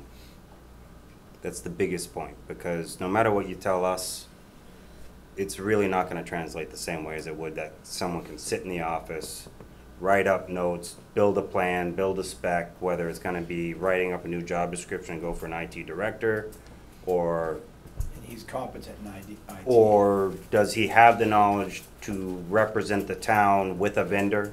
So he can read through the lines and understand what's going on, so it's like, okay, you're saying that, I get it. Um, that might, but let the person come in and explain for themselves what they can or can't. I don't like feeling like trying to make that assumption yet. That's more the reason why it would be nicer to have a little bit more time if you're willing and we can do it. I would even recommend to this board, depending on the situation going into tomorrow night, if we've got to make any adjustment, we could do that. The only adjustment we made was we took, um, Rutland's portion out of the budget. Right, I think we need to put it all back in. Rutland did not budget for that, so they, they cannot pay in for that. Am I correct? I may um, be it's in- wrong, it's I in the don't know. Rutland's- It's in the Rutland's budget as purchase services, so it doesn't matter where it gets billed to. Okay.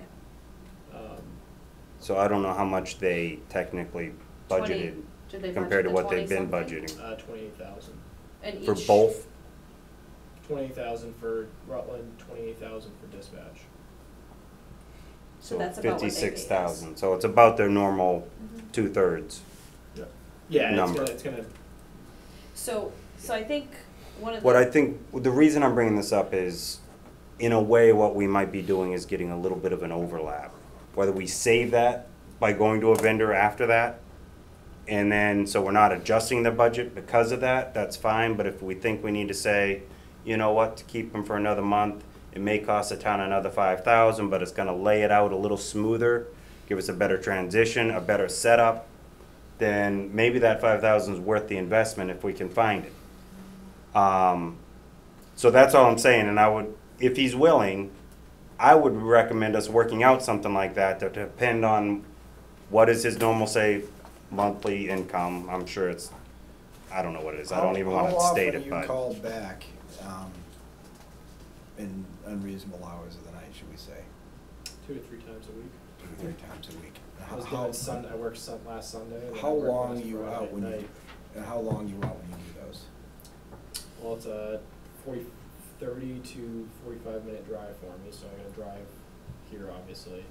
Um, and then it depends on what the issue is. Uh, I've been using, um, the remote software that I purchased through my business, I mean, it doesn't cost me more to use it for the town.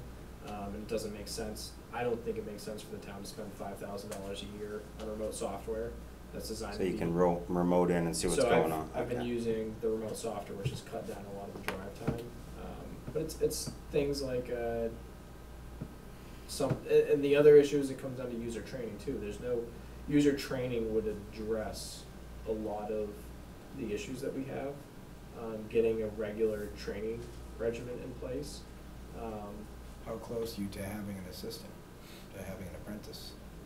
I have I have someone that I would pick for the town um, right now, and I just told them I want to wait and see where everything goes because I don't want to pull them down a road. Um, it's not worth uh, pulling them down that road. Now, you mean under your company? You have someone deemed that you would uh, assign this town? Oh, um, under my company, yes, we have a, I have a team of seven people. Oh, this other person wasn't necessarily what you were just talking about No, this then? other person was I went through the interviews. Interviews for the Mhm. the interview process, um, which again, I wasn't uh, too thrilled with some of the candidates we got. Um, but I got one that was really good. He's a high school student. Um, tons of awards already going through uh, all the different computer science programs that are out there. Um, Graduated high school continuing high school? he's, he's going into his senior year. So he's looking for summer work. Yes, and that's the other issue. What's, what kind of cost would that incur for him? Um, And how much time would we have him for? Uh, I had three thousand dollars budgeted, if that's what you're asking. What was the, did we decide on a pay rate for that? I don't See even how think it far. got there. Yeah, no, I don't think we, I don't even we didn't think get it to was that, that far. we didn't get to that piece. And that's Um, more why I was thinking maybe the month would help us do a better transition with that understanding. Well, I think- If he can, even accepting that maybe you can't make the same commitment you had made, mhm. it may still be better for us if you can be there to some level until either the bid process can be closed on the vendor concept, And that would also give us. and that's all I'm asking. That would also give us time to look at your callbacks and, and an idea of allocation if we want to work out this agreement and re, re, rework the agreement. um, So that people are, are paying their fair share, and when we're having these callbacks at different hours, there's some way of compensating them for that, above and beyond, I mean, let's face, I mean, a twenty-four hour firefighter, they're sleeping there, they're already there. But if you're home and you have to get up and go do something, um, I do it at night a lot, I know it's an inconvenience, and, um. So yes, it's let's just one we would day have to job. talk to I think- Rutland also. And one, one of the things that I guess kind of led me to start thinking down this path as well was um, when I, I was having a meeting with, uh, I think actually Phil was there too. Margaret just looked at me and said, uh, "What's your ideal situation? What's the most ideal situation for IT?" When I was really starting to say, "Hey, it's not working. We need to work out something else." And I was like, honestly, about uh, four hundred thousand to five hundred thousand in salaries, uh, money to like, allocate to salaries, so you can really get that twenty-four seven coverage that you really need. And then I started thinking, like, wait a second, that's one, not cost effective to the towns, two, something that um, I already have in a vendor model, um, and it, the time is just shared across um, different organizations. So you still get that twenty-four seven coverage, but at the price um, that the towns have currently been, close to the price that the towns have currently been paying. Dispatch would save money, Rutland would spend more, they have more computers than, they have more employees than Barre. Um, It's usually defined by uh, actual workstations, usually is the model for pricing it out. Um, yes and no, yeah. Okay. I got, I got a couple different, um, it depends on the vendor, each vendor does it differently. Okay. Um, So, and that's, um,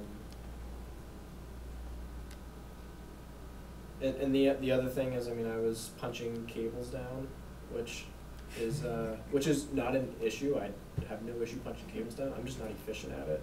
Takes me eight minutes per end, where it takes, uh, the guy I have that, that's what he does, he pulls cables and punches down, punches them down, takes him four minutes per end. Um, Don't get me wrong, our IT group can do it also, where I work. I But uh, they always down. sub out It's an electrician to do enjoyable all of job. that work and then they come in and just watch to make sure it gets programmed right. They bring it all down. I mean, that's, I think the one thing you're keep right, in there's mind- roles that it, it's, if you don't do it every day, it just drags. I think the one thing to keep in mind, um, as a department, using Adam is, I think if Adam's recommending this is a better viable option for us, that's, you know, something that we need to take into consideration. Um, And, and I think, you know, before we had Adam, we had departments that were using, you know, company A, company B, company C. We'd hire, uh, you know, one company, they came in and did large infrastructure, which we did have a lot of good infrastructure projects that Heather was able to get accomplished. But it was a matter of, then none of us knew what to do with this great technology that we had. Um, so, That's, just so you know, that's my concern about losing a direct IT director that's in the employee of the town. We can only do a vendor agreement for three years. And then we gotta do it again, or there's only so many years. You get limited with this type of procurement and how many years you can keep the same contractor Right, when you're a but- municipality. but we're in a situation now where we've, we've just completed year one and our model's not working. So it would be much I think there's wiser a to be, wiser to be in a three-year contract and at least know for three years our IT's gonna be a managed service.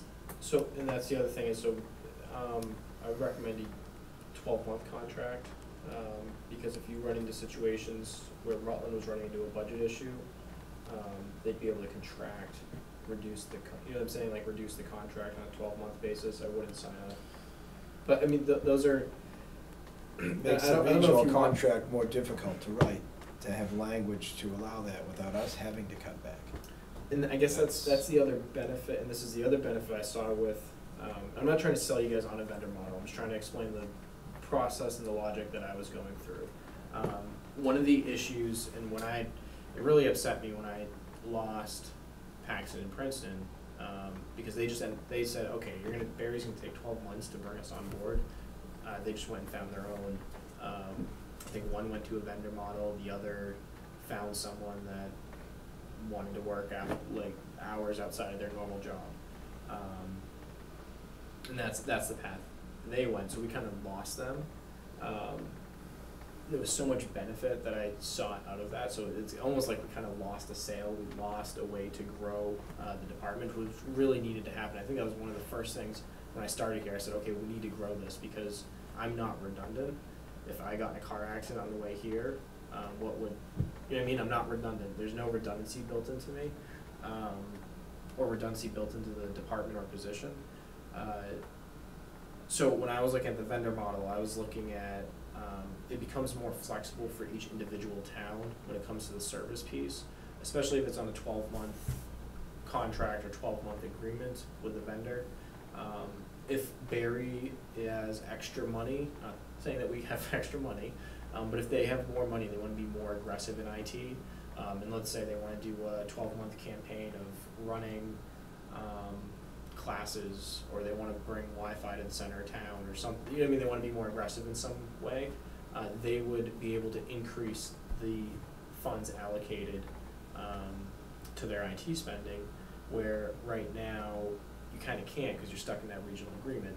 Um, and then same thing with Rutland. If Rutland, when Rutland took over doing the Wi-Fi in the schools, rather than just having me go in and do it, um, we would they would have been able to plan and say, okay, this is a project that's above what we um, what we're what we're looking to do. Let's try to just expand our contracted services a little bit for this twelve months.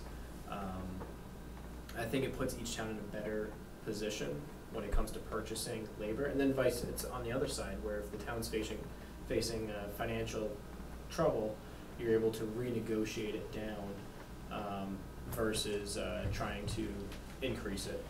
Um, and I, I know the model, at least I have, with the vendor relationship, we um, break everything up into teams.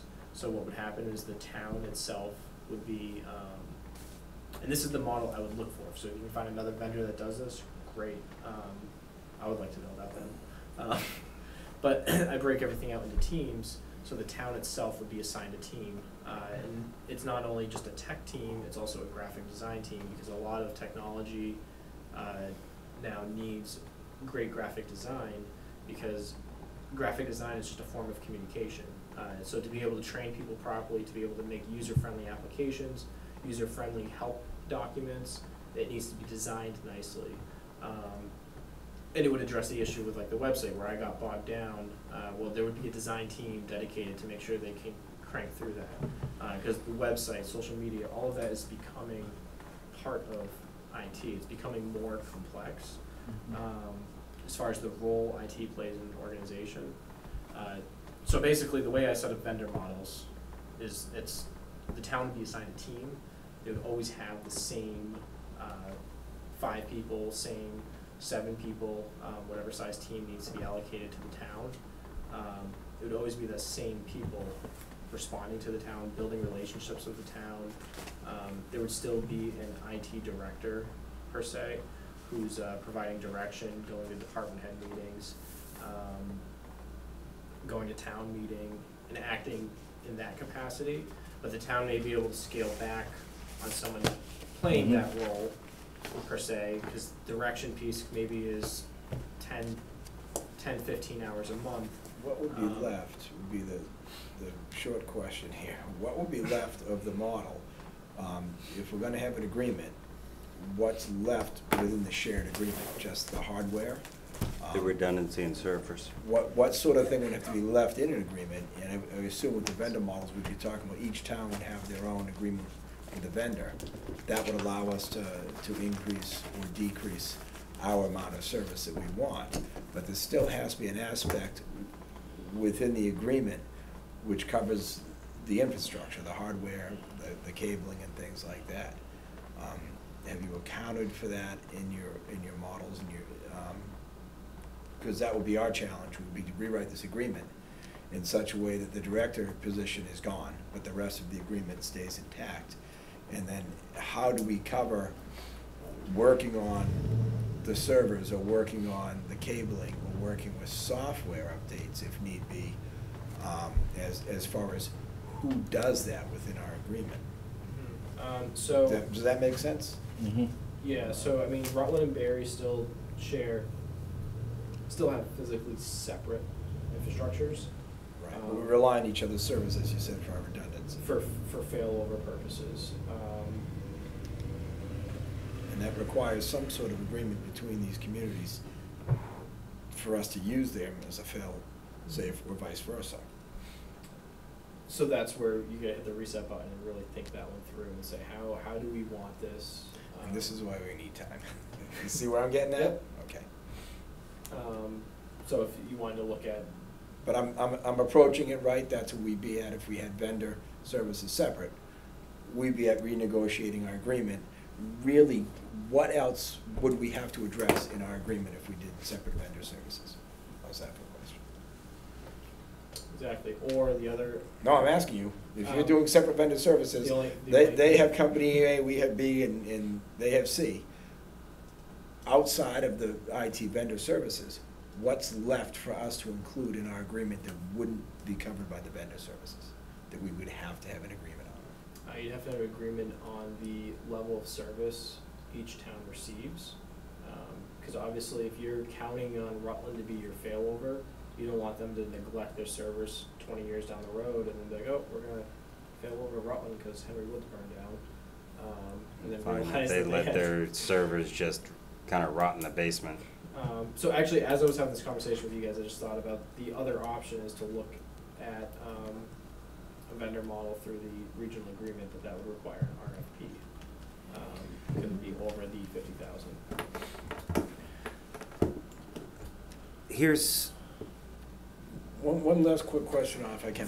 Would, would the vendor model allow, if, if we kept a vendor model, um, would it allow for each of the towns to, to, to allocate more time? You know, would we have to pay the IT and allocate the expenses? Or, or could each, each town dial up their, their use or, or dial it back on their own with, without us you know, having, having to have the funds come through us and, you know what I'm saying? We- If we're doing IT, we pay and So they're. it's almost like our expense budget, like right now, we have our own expense budget, they have Mhm. their own expense, but we share the salary, is that kinda what you're saying? Well, What I'm saying is if, if, if we did, a if we reset the model pretty much as it is, right now, everybody are, has their pre-allocated times. In a vendor, in a vendor situation where he may have four or five or six people working in, in different shifts, um, could somebody increase their hours without, in other words, could our, could our model cover a certain set amount of hours? And could each town request extra services and bill separately outside of our agreement? No. Current, current, the current agreement? Oh, well, if we redo the agreement, Oh. could, Oh, we if do it, could we do it in Yeah, a the manner current so? agreement doesn't allow for that, that's what I That's what I'm was- saying, could we do it in a manner that we're all gonna get a set number of hours, perhaps less than the ones we're doing now? Mm-hmm. And then each town could set up their own vendor agreement for an increase in services beyond that. So we kinda set a minimum, like the mm-hmm. water sewer bill, you have a minimum usage bill. And if you go beyond that, you get billed from IT, not through us, so we don't have to handle that and play that game. I, I'm not sure you can do it by percentage though, because that, that could vary from month to month and project to mm-hmm. project. No, I, I don't mean by percentage, I mean, we would all That's have what a you're set. Talking about hours or whatever. Well, I'm saying is right now, we all have 33, 33, 33. We all have a, a mm-hmm. fixed percentage now that we pay for and pay by. We can establish a fixed cost to have, let, let's say Adam's gonna, okay, I'm gonna give Barre ten, I'm gonna give Rutland ten, I'm gonna give dispatch ten. For those thirty hours, this is my fee, and we have the benefits and everything else figured in, and everyone pays their portion. Our agreement can be written such that if you wish to utilize the company, you have the right to, on your own agreement outside of it. You get so many hours from our agreement, period. The cost is fixed, everyone can budget, and everyone can set this low enough so they can afford it. Well, it seems like that's what Rutland's doing now. That's what they're basically, Yeah, they're But going we'd have to just rewrite our agreement, agreement their own. to, to keep the agreement alive, we could rewrite the agreement, dial back those, those hours, and then each town can seek their own, you know, vendor model for pricing for hours, callbacks, whatever the services they wanna get Right. beyond, beyond their allocated. They get at them for ten hours, do what you want with your ten hours. If you want services outside, outside that, you, you seek your own vendor. That It's would keep our agreement alive. So uh, I guess it could kind of be seen that way now. It's just that the money It doesn't work for Rutland's cost-saving effort. the money's not there when the school comes and dumps a seven hundred thousand dollar increase on the town. Mhm. Um, and they have to squeeze, cause, so, because I wanna do the best I can with Mhm. the towns. So one of the issues I faced with Rutland is I faced a thirty-five hundred dollar cut to a total of forty-four thousand in IT spending. Mind you, twenty-eight thousand that goes to my salary, so there's just over fifteen thousand um, for all the IT expenses for the town. That's the internet bill. Mhm. That's the email licensing. So there's email bill and email li- and licensing is Mhm. about seven thousand dollars right there.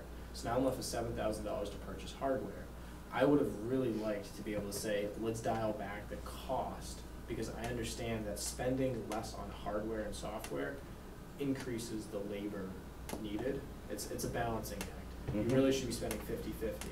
So in that case, and that was another thing that drove me to this conclusion, was, um, in that case, I would have, as a vendor, I would have said, all right, Rutland, let's cut this back.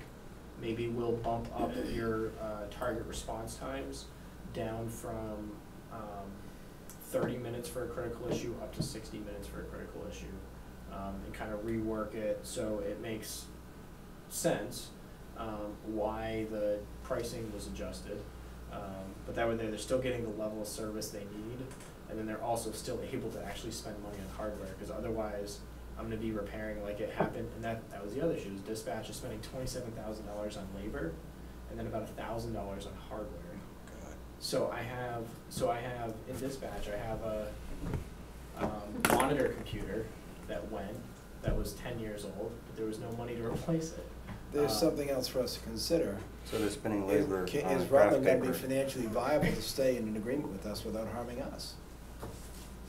Are we better off to consider leaving the agreement in keeping ourselves afloat. If, if they're gonna put a thousand dollars in the hardware, that's, that's not gonna be enough.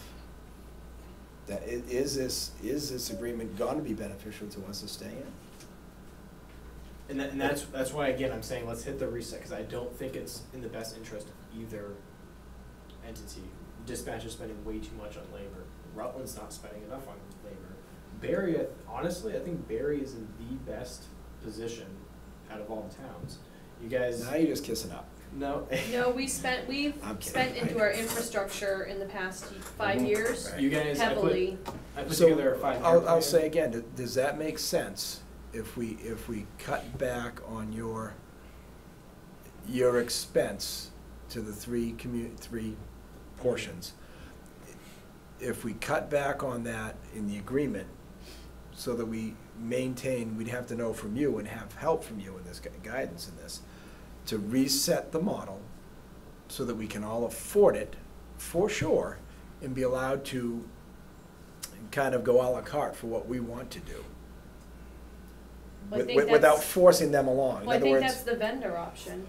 Well, Yes and no. yes and no, Yeah. yes and no. Um, We need this agreement to survive. We've, we've gone a year down the road with significant investment into this hardware.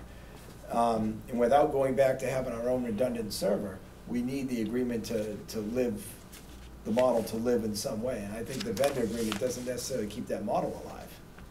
But if the vendor agreement is, the model lives in a smaller form enough to ensure that we all have backup, and mm-hmm. maybe that's all it's for for us, and then we can get the level of service we want vendor-wise. Mm-hmm. If, if, Yeah. you know, if we wanted, if we said, okay, we're gonna put new, new workstations in, in every office, and they're gonna have, you know, I, I don't, I don't even know where to go with that, but I mean, we're going. Yeah. You wanted to talk techie right there, I know. Yeah, no. not gonna happen, but I mean, if we wanted to increase our service end, and we wanted to spend, if we, if we got a grant, we wanted to dump fifty thousand dollars in infrastructure, in the model, we can't unless they're all gonna spend it too. Mm -hmm. So we need to rewrite the model so that we can do more on our own. Or less if we don't have the money, do you see what I'm saying? Right, so why don't back. we, um, see what the, the bid, um, for vendor services looked like, like how Yeah, it read? that's what I was Yep. thinking. And then, um, you guys can discuss it at your next meeting. Yep. Um, We- Just so you know. I'm just saying, like, cause, Yeah, I'm just trying to get all the thoughts out yeah, here. I think if 'cause you we- look at like I maybe said, we what have- the, this is That's scramble down the time for road. us. Right, well, we're at What I'm scramble time really trying to re- figure something out. asking we do tonight Keep is that in mind. decide, do we wanna keep Adam for another month? Is he willing to do it? So we can work this in a timely fashion, because right now, don't get me wrong, it went from three weeks, we're down to two weeks.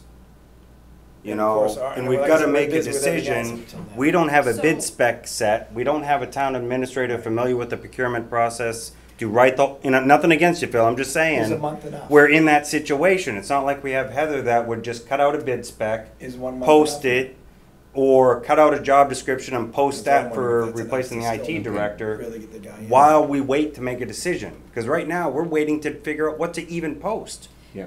Why don't you write us So we're not in a good spot. Yeah, why don't you write us up, I don't know what you call it, but a proposal. Now, there's Uh, other, So I have, so I, I have a form that I have to fill out, yeah, and it will be a RF, I can give you an RFQ, okay. um, a request for quotes. Um, and what I would recommend is that both towns go out and do a request for quotes, and then Mhm. sit down and look at the quotes and see if they make sense. Yeah. And in that Okay. time, We're, we're probably looking at a week to have it written up, and uh, it, that it. could it- probably be done in less time than a week. It'll Yeah, take a sure. week but- to but post still, it. At, at least a week or two of posting to, it. we're, we're, So I we're gonna be understand what you're looking, saying, we're so gonna be, that's what I'm saying, will- if the month's enough, cause we're gonna, this process will take us a couple of Yep. weeks to get our quotes back Right. and be ready to look at it, so So is, let it- is it me- possible to talk into two months? And, you, you don't know, I know, I know we're pushing, it. I know it's gonna be tough on you, but maybe, well, I can't say anything else, I mean, Yeah. Why I'm don't- not, I'm not objectionable to, to trying to come up with something if, Adam, would you If be we willing to stay on for like another month? We'll put the quote out, see where that comes can we back, start the help? Hmm. and then, Yeah, now the regional agreement, there used to be a section, just kind of comparable. The State Department of Education made the school district take it out. Why, I don't know. It just, they know more, I guess, than the rest of us. But we had it very, it was a very, very simple section in the regional contract that it said, if there are certain standards by the contract that all five towns have to adhere to, and they have to meet certain minimum thing, expenditures. If they want more, then it's within their purview as a town to do that, but they're gonna pay for it. Exactly. And that's, I think, what we're talking, and that, that, in, in a nutshell, was the Which whole. we need to know from you what the minimum standard is we need Yeah, to keep I mean, I think we have agreement to, alive. we're, we're pretty well bought in with Rutland because of the I think dispatch so, I thing, right, agree. wrong, or indifferent. But, That, that, that seems like a clear way to go. What, what do we need for a minimum standard to set? yeah, that, And, and what do we need for, to con, for, to put Yeah. out for requests? for yeah, 'cause we have one town that was constantly wanting to spend more, and ironically, it's a town that wants to spend the least now, but anyway, that's how time moves, I guess, in this world. Can I make a suggestion? Sure, I mean, I'm not a selectman, I'm not, Right. you know, journeyman selectman. But what I'm hearing here, you're the IT guy, and you wanna go out on your own. Is that what I'm understanding? I'm already out on my own, and I just think it's the best option for the town for both, uh, cost and, um, So what the town is facing now, you're gonna find somebody else, right? yep. Not We gotta find necessarily. s- Well, not Three that- weeks to do something. it, three weeks to do it, so the next time you get, you're looking for something like this or anything for the town, why don't you draw up a contract where it's, okay, if you're gonna give your resignation, you gotta give us at least a month and a half, or whatever is, Yeah, Right. you know, you guys are comfortable with, the next time you do this contract. Whereas someone won't be able to say, Right. hey, I'm leaving in three weeks. well, we have town personnel stuff, Bruce, that handles that, but this is a little different because, you know, we're not really the lead town on this, Rutland is the You lead. got No, we're more- the lead that's so you'll have to make the agreement with the other Yeah, I know, I know towns. that, but that, we're- that's the I, problem, I, is I we think, have our. I think we're, I think we're heading in the right direction. I think we're If- just If about you're willing done, to stay yeah. on for a while and, and help You're us with willing the, to um, find terms to get through another month. Yeah. So what I, what I would propose then is how will we look at, and this way, this way here I can propose the same exact terms to, um, Rutland and dispatch. Uh, that we take thirteen point three percent of whatever is paid, Mhm. and that comes from Barre, if Rutland wants to continue with me, um, cause I know they already sent out an RFQ.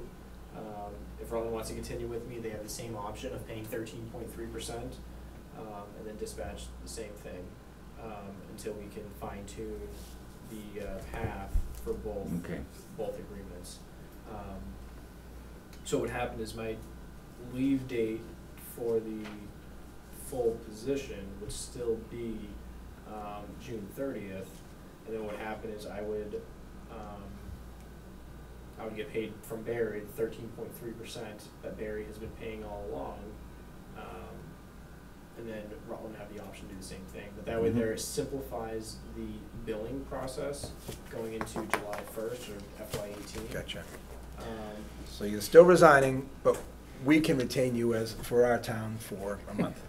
And they will have the option to do the same. so do you want me to write something up for That two Yes, sounds, please. months? that sounds very wise. How long do you guys want, a month or two months? One month, One month? Really? that's all we need. We'll make it. like- Really? Could, Yeah, we just need to develop a plan. Make- That's, don't get me wrong, I, We're gonna be I crunch at the end of the appreciate it, month but again. the, Well, Adam it's not- also wants to move forward. It can be month to month, so Yeah. we can just say one month and then it can renew All right, for- fair Would you, Yeah, with an option, kinda like a baseball contract. Yeah, exactly. I'm just worried at the end of the month. I know. town? Time- I think at the end of the month. time Gene or we'll- Nancy we'll get you crap, we that. need another week. What's his monthly pay and just, Time what's moves on thirteen percent of pretty that? fast. And that's, No, no, he's, what he's recommending the, Okay, You guys have to agree to it though, so I'm wondering if he can get that for tomorrow night, because if not, I don't know when you guys meet again. Well, we're gonna have that settled by the end of the meeting. sixty-two divided by twelve You're comes right. to, Yes, divided by so we're four. gonna have that I'll settled. get, I'll get the math figured out. Tomorrow. I'll get something written up If you could. for a July one to the end of July and then say that it's, See, we actually have to the end of June for that. We gotta get, we gotta do something on the, on Okay. the, Yeah, okay. um, and then I would recommend that you still do the RFQ, Mm-hmm. yes, which I'll write one up. appreciate it. Um, I just have to submit the form to you guys, because you guys are the ones that appointed me. Mhm. So you have to accept that, So you guys just have to accept. financial disclosure. the, the financial disclosure. Um, if you wanna solicit me for quotes, you don't have to solicit me for Okay. quotes. Uh, but if Okay. you. I think if just want- You don't have to be take it, and identified as a then- special employee for that to occur? I'm not sure, I have a whole email from ethics, Okay. um, so I'm just gonna go through, I'll go through that one more time, and I can send that along to you guys too. Um, but they, they outlined everything that I would need to do, and they said that since there is no lapse in my employment per se with the town, um, that it bypasses a lot of the, uh, cons- the ethics concerns. I think with a private contractor, the town takes on less responsibility, and you Yeah. gotta take on more. Yeah, I Yes. a little- the way right. a little- different under the Okay. law. Yeah, just keep me posted if you can have that for tomorrow, just Yep. send me a message and then, well, cause we're meeting tomorrow night, Yep. so. That little Okay. Okay. pesky I- thing. Okay. I'm happy with that. Okay. I still think we just, mm, okay. You want something?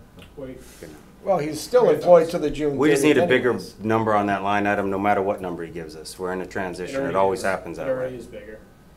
You guys added fifteen thousand on top of, You know, I pulled it back to the forty something thousand, cause I took Rutland's number out.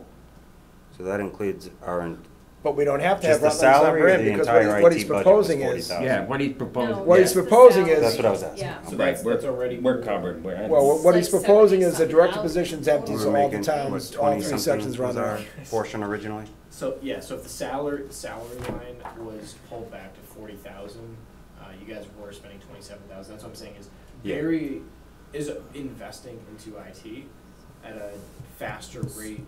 Seventy, than- seventy-three five would be our total for IT.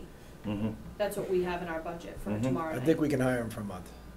Um, so you already Safely out of have that budget. more, you're already. That's more all I'm, than- that's all I was really Yeah. trying to get, is make sure Right. that that's the And, case. and we don't have to worry about their portion because he's, he's done June thirtieth officially, so the dir- direct, and we My have to concern communicate more- that to Rutland though, that, My concern with that more was, we don't know where Rutland stands with what they're gonna contribute to an agreement they're saying they're not ready to walk away from. That number is completely dependent on not having any income or expense related to Rutland or Well, RECC, Spence, which is not in line with the agreement or what they recently Mhm. stated in the email. So what level of commitment do they still wanna make, and is it gonna have any monetary value? We don't know. it has to have monetary. So value. that's why maybe the fifteen thousand's enough to cover that potential we don't know.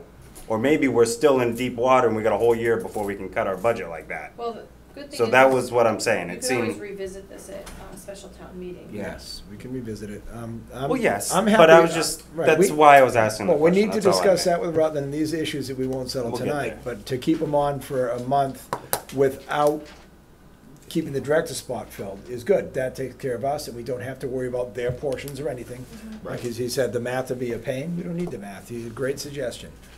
And they can both continue if they want, and, and then that gives us a month to work this out and figure out the agreements. Yeah, I think we might be able to Thank you. work out with I them. think that's a a their great budgets- solution.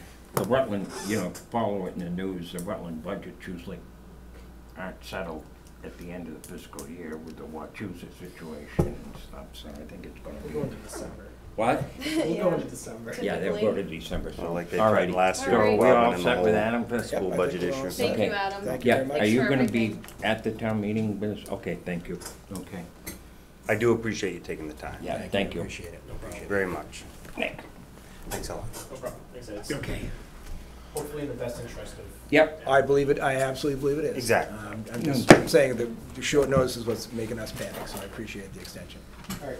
Thank Okay. Thanks, Adam. I think we can deal with big groups out of line. I think you had some questions for us. I did, um, it's like, well, you know, I told you my wife had a heart attack. Yeah, yeah, we, I think, be careful what you, we're on television and everything. Yeah, we're on personal. live too. Yeah, you don't wanna get into the I've personal. seen the thing looking at me right now.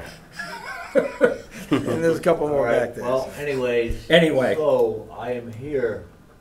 She was supposed to be here. Her, her Mhm. boss asked her to be here.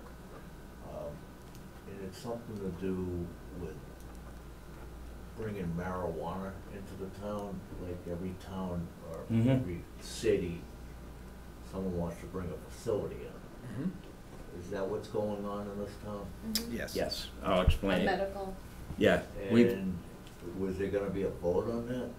we've already, the board, the, it's a little confusing, like everything else in this Right. world. The, it doesn't go through the conventional town meeting vote. The state actually has to approve it.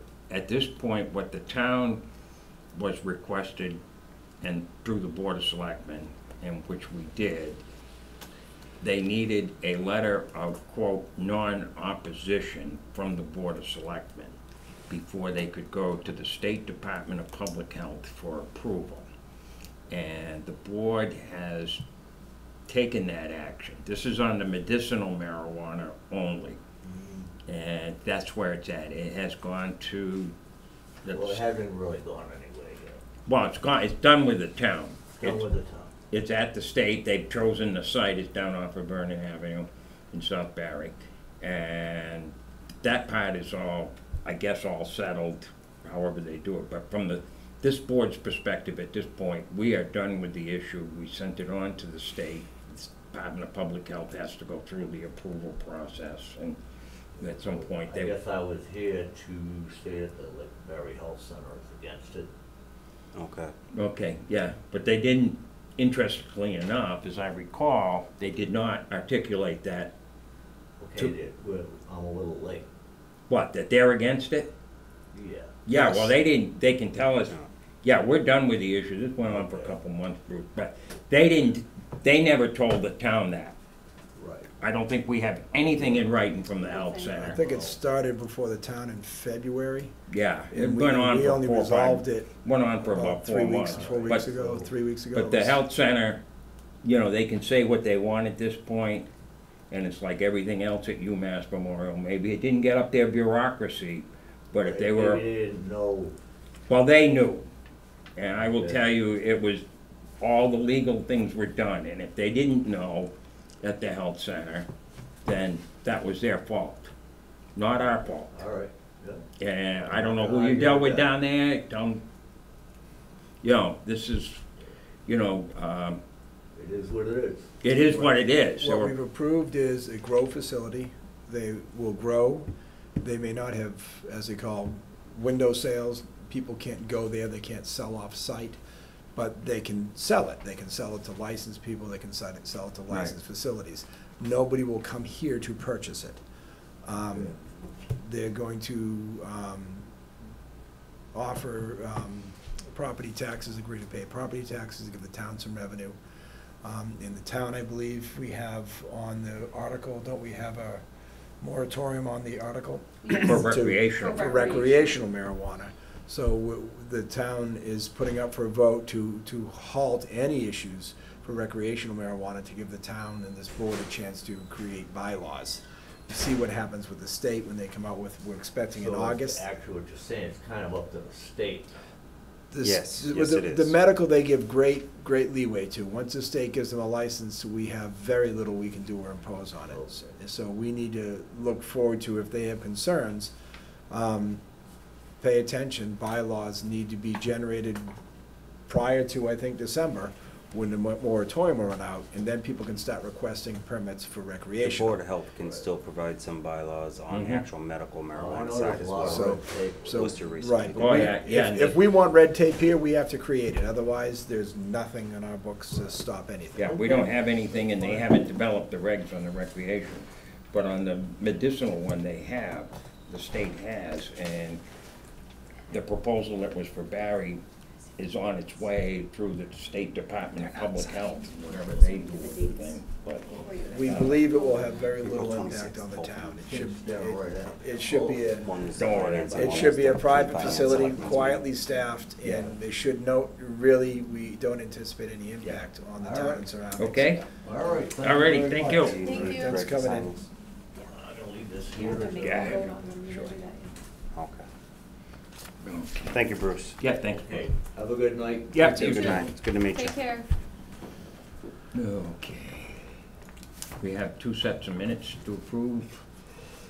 for Wednesday, April twenty-sixth at six-thirty and one for seven PM. Are the wishes of the board. I would make a motion to approve both sets of minutes. Um, Yeah, I think we can only approve one. One is uh, for the selectmen's meeting prior to the finance committee, and the second one was the notes at the finance committee. That might be something I have to throw to them later to accept. It's the finance committee meeting notes. It's titled finance committee. Can I see those? I mean, it's- it's like you normally do. Phil did like we normally do. When the select board attends a finance committee meeting, the notes just gonna say attended the finance committee meeting. So, Those Do- are minutes for the Board of Selectmen. Didn't, didn't we have a meeting prior to that, though? That's what, there's That's what I'm two sets of minutes, one from Oh, oh a from meeting you the had same- prior and a meet, Oh. Yes, there were when you two were at meetings, there were two finance. meetings, Right, yeah. Was it two meetings? Do we continue our meeting for that? Make two meetings. this is not, you not can just, members present, our only finance committee meeting, these are finance committee meeting minutes. Not for us to sign is all I'm saying or approve. I didn't do the meeting minutes, and I was not at these meetings, so I don't know. I am telling you, that's ours. Okay, Please hold this and present it to the finance committee. Do you disagree, Phil? No, I don't. Thank You you. want to propose a Okay. different motion then, Matt? all right, so we'll I have the, propose a motion to accept the Board of Selectmen meeting minutes for Wednesday, April twenty-sixth. I'll at six-thirty. Yes. second your Okay. motion. Do I have a second? I do. Hearing The, no discussion, call for a vote. Favor? Aye. Aye. Okay. apologize, it was, I understood it was confusing, but I think we're good. Okay, let's see if we can get things wrapped up here. Do you Uh, need that signed, Fay, or? Greg's to do the, eventually you'll have to sign hers, but, yes. okay. Then we have the, uh, selectmen's reports. Gentlemen, have anything you wish to? In one moment. Okay, we have information on the free cash, correct? We do. Do you wanna read off what it is and, I might have left that upstairs. what? I left that upstairs. Oh, you didn't? Jean didn't wanna do it? No, I asked Jean and she, God, after all she she, had an appointment today. oh, okay, after all she went sure. through, I didn't know it. Okay, we can go on, I can, I can grab it. Okay. Just a second if you guys want. Um, Reports, I did talk with, um, on our basketball issue, we followed up, Okay. um, with a phone conversation so far. Um, I'm just gonna step. up. Obviously, we've, we've gotten her point, uh, Thank you. somewhat, but much more extremely in the phone conversation, how, I'm how sure you how aggravated she is um, with the basketball. But the, the best I can tell so far is they are staying within their property, standing in the street. Um, It appears that obviously the police have gone down and, and saw fit to join in with the children playing basketball. Um, She wasn't too pleased with that.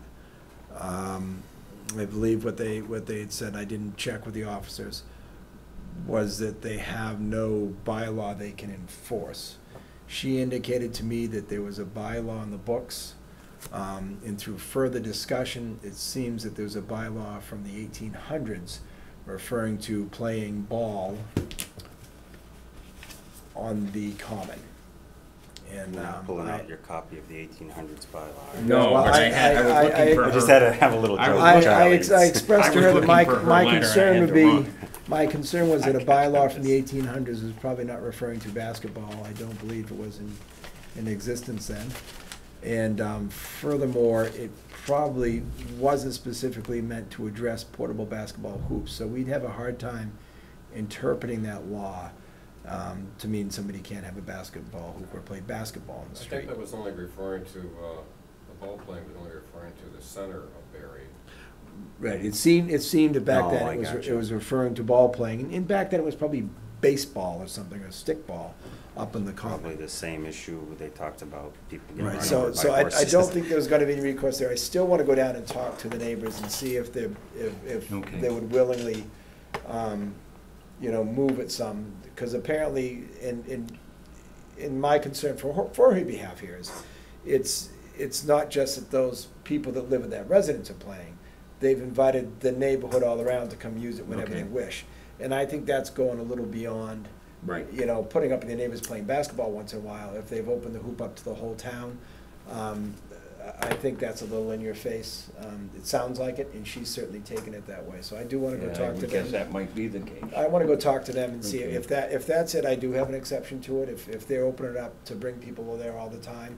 And, um, I can't know if they're really, you know, trying to make extra noise to aggravate it because they know what they're doing, so she feels they are. Um, certainly can't know that. Right. But, um, if it's, if it's just your neighbors are playing hoop out and they're in the street, I'd say tough it up, but it, it sounds like they're saying, oh, we're just gonna make this, uh, it's not, we have public basketball courts. Um, and if it's for anyone to come use and the owners aren't home at all, it's, it's a little different than just a pickup game in, in Yeah. the street. And, um, I, I think she's got a legitimate issue she's upset with.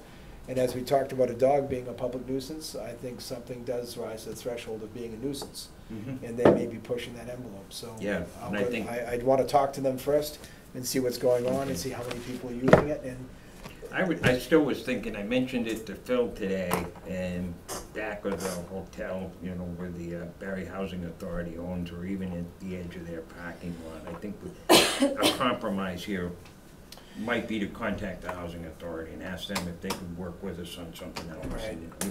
That would be the compromise. certainly if somebody wants to have a basketball hoop in their own property and play. Yeah, that's property their and- business. and play hoop in front of it, I, that's, I'm never gonna say they can't do that, I'm s- Right. that's not gonna change that aspect of it. But But if this it's, be- isn't a but if it's becoming literally a community hoop and they, and they, and they're kinda advertising that way to the neighborhoods, Mhm. then no, then we need a community hoop for that, but there is High Plains. Yeah. Um, I don't wanna get into private property or getting permission of private property or towing cars off people's properties as was suggested. Um, Right. But, you know, High Plains is there. And if Yes. we, if we could make a hoop, obviously, if they don't want it in Nornay Park, they don't want it in Nornay Park. And I, I'd gotta defer to the people that manage that park at that point. Um, You know, if they manage it, maintain it, you're not gonna say, well, tough, you're stuck with this. I don't think that's right to them either for their wishes of the use down there. Um, That's why we have these parks and recs, Mhm. um, volunteers and commissions to take care of those and their level, um, and their, com- part of the community. So I'm not against, uh, as we said before, a hoop, and if this is becoming a public court, I don't think, you know, I, I think that is being a bit of a nuisance if it's a public court. And I would, um, you know, I'm all for kids playing basketball, and I told her that several times, but she's got a very valid point if it's just everybody coming there to play. That's, she Mhm. owns that property, she's not a tenant there. Right. Um, And I explained that the tenants have just as much right to enjoy their property as she does for the one she owns, because they pay their money for it, they just don't get to own it. Um, But it's different if other people are coming up and doing this. Mhm. Um, So that's where we're at with it. I don't know if that gives you guys any different Okay. perspective on it, but I'd like that was my thoughts. Uh, I was down there, uh, last week and we had a visit in the neighborhood. um, And I was thinking perhaps we could do something at the end of Nelson Street, cause I thought that was a, a public way at the end, but it's not. It's, it belongs to, uh,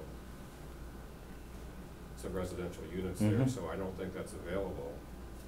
Um, I was down there this afternoon and I was looking at the end of Church Street and wondering if, if that might be possible to put some sort of portable hoop there.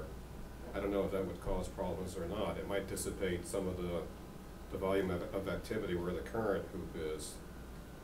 And share Yeah, it I'll have with, to take a look share at with that this one. other hoop. I don't know.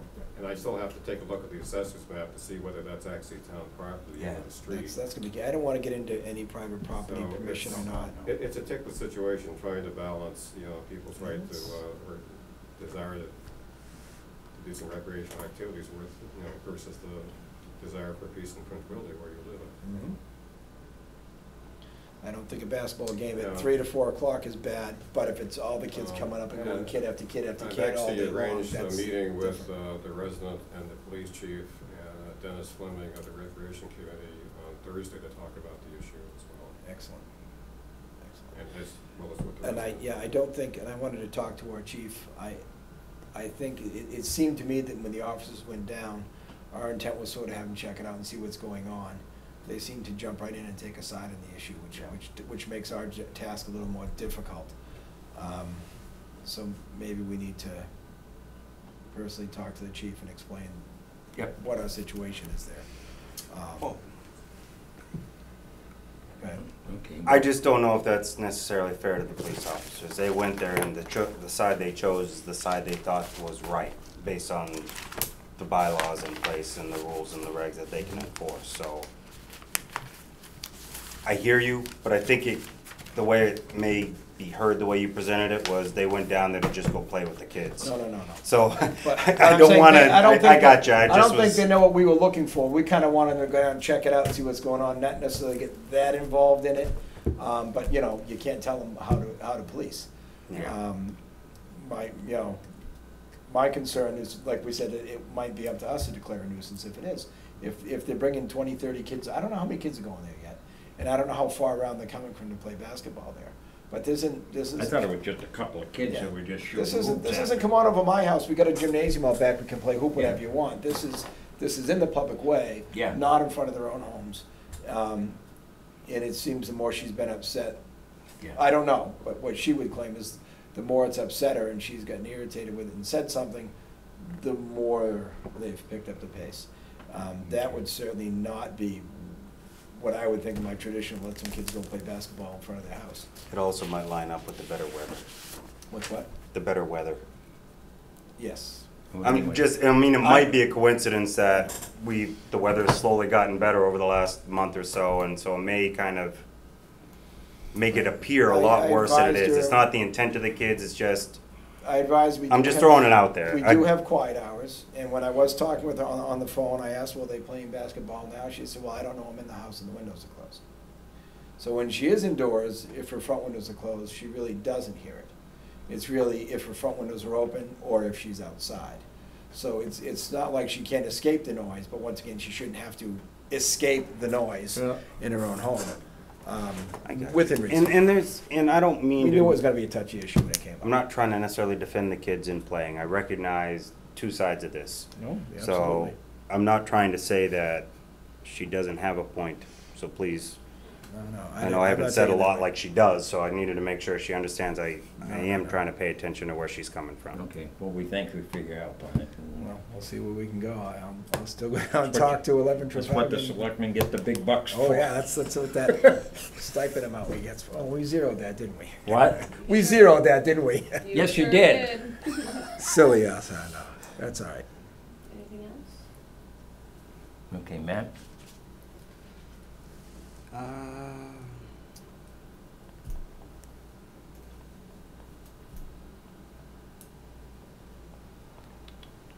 Not a lot to be said here, no. Okay, My thing I had been working on is already another agenda item. okay. Okay, now you have the free cap. I do now. Okay, I did. Um, okay, so first, I would like to thank Jean Joel, our accountant, uh, Nancy Talbot. Um, Jean for her work, uh, getting our Schedule A submitted, um, like she promised us she would. Uh, So we have some very good news that came in, uh, late last week.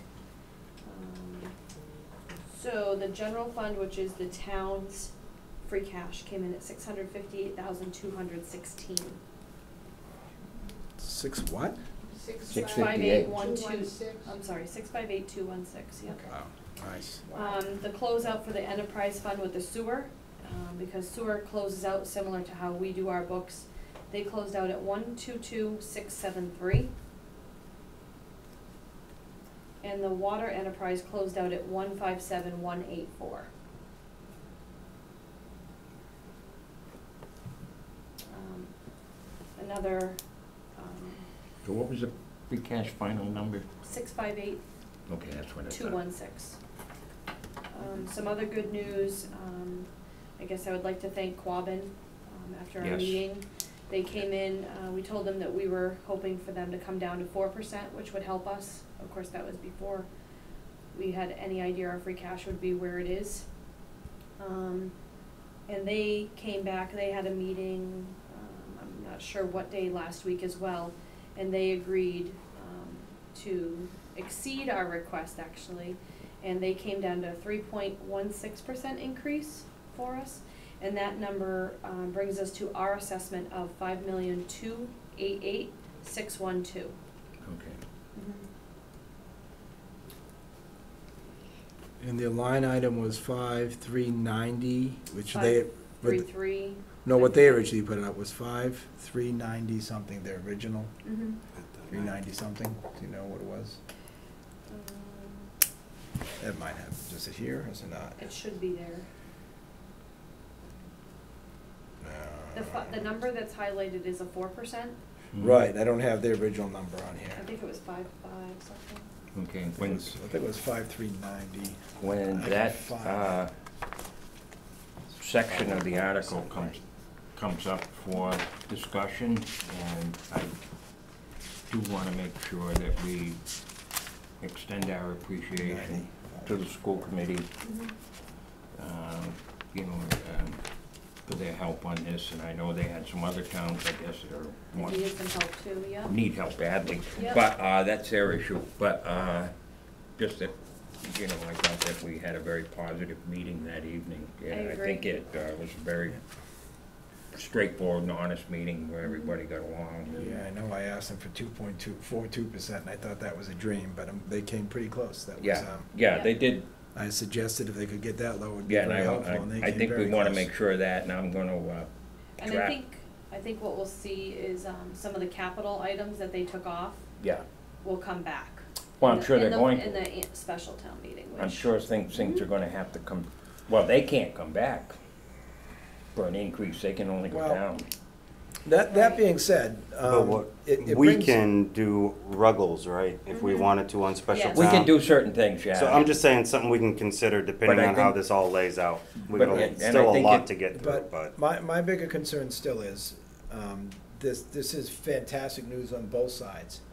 But to truly do our job here, um, i- if this were our personal income, I would say that, um, if, if the revenues was my income of ten million, two hundred and forty-six thousand dollars, I would strike a portion of that aside and put it in stabilization, which would be my savings, and I would live off the rest. We're going beyond that and dipping into either free cash, in this case, we have the free cash now, but dipping into free cash.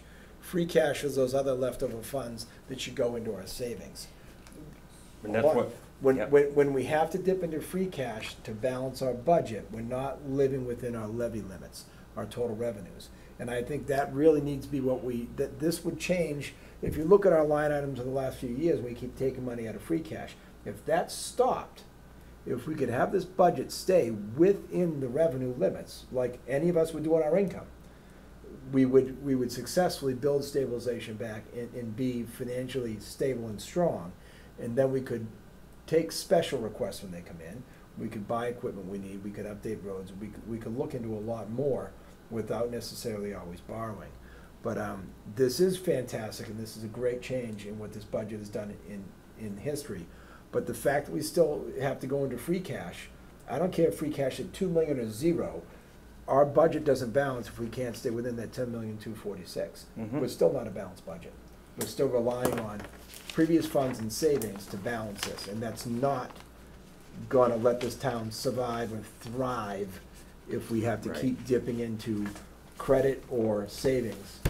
You know, if you were putting aside for your kid's college fund and you went and stole from that every couple of years till the college fund was empty, you'd have nothing down the road. We, Right. we've, we, we've still gotta get within our means here, um, in the future. This I is, would this add is to a that great that- change for this year. OPEB fund is very similar to stabilization and the fact that it's not meant to be used for years down the road. Right. And our recommendation from the consultant the treasurer used was twenty-five thousand, and we only budgeted five thousand this year because of that. And that's another one that'd be good to invest in now because it grows with the interest rate better Right, and we come back in the fall. for a specific purpose that we're not able to fund right now unless we use Right. this type of money to do it. And, and, and I'm fine, because that still is a savings. That's still, that's not money we're spending, that's money going into the account to build preparing it. for the future still. Exactly, Right. and that's, so w- that's shifting a savings to savings to me. I have no problem that always coming out of free cash. Right. I have no problem with that, because that's, that's just savings account A or savings account B. Yeah. The bulk of That this- one has to be there for the future, we know that, and we've gotta start putting into it, and I, I don't have a problem putting that aside for Yeah, that, the bulk of that free cash is going back into stabilization. which is fantastic. That's where it's heading. Um, I, I'd like to. that's- I guess The at the- free, the free cash, this number right here, this money has to be spent by June thirtieth, this Right, month. It's gonna go into Has to be stabilization. al- Yeah. allocated. Has It to be abs- allocated, It yeah. should go to stabilization. Who makes that And that's decision, where the it town or the belongs, select board?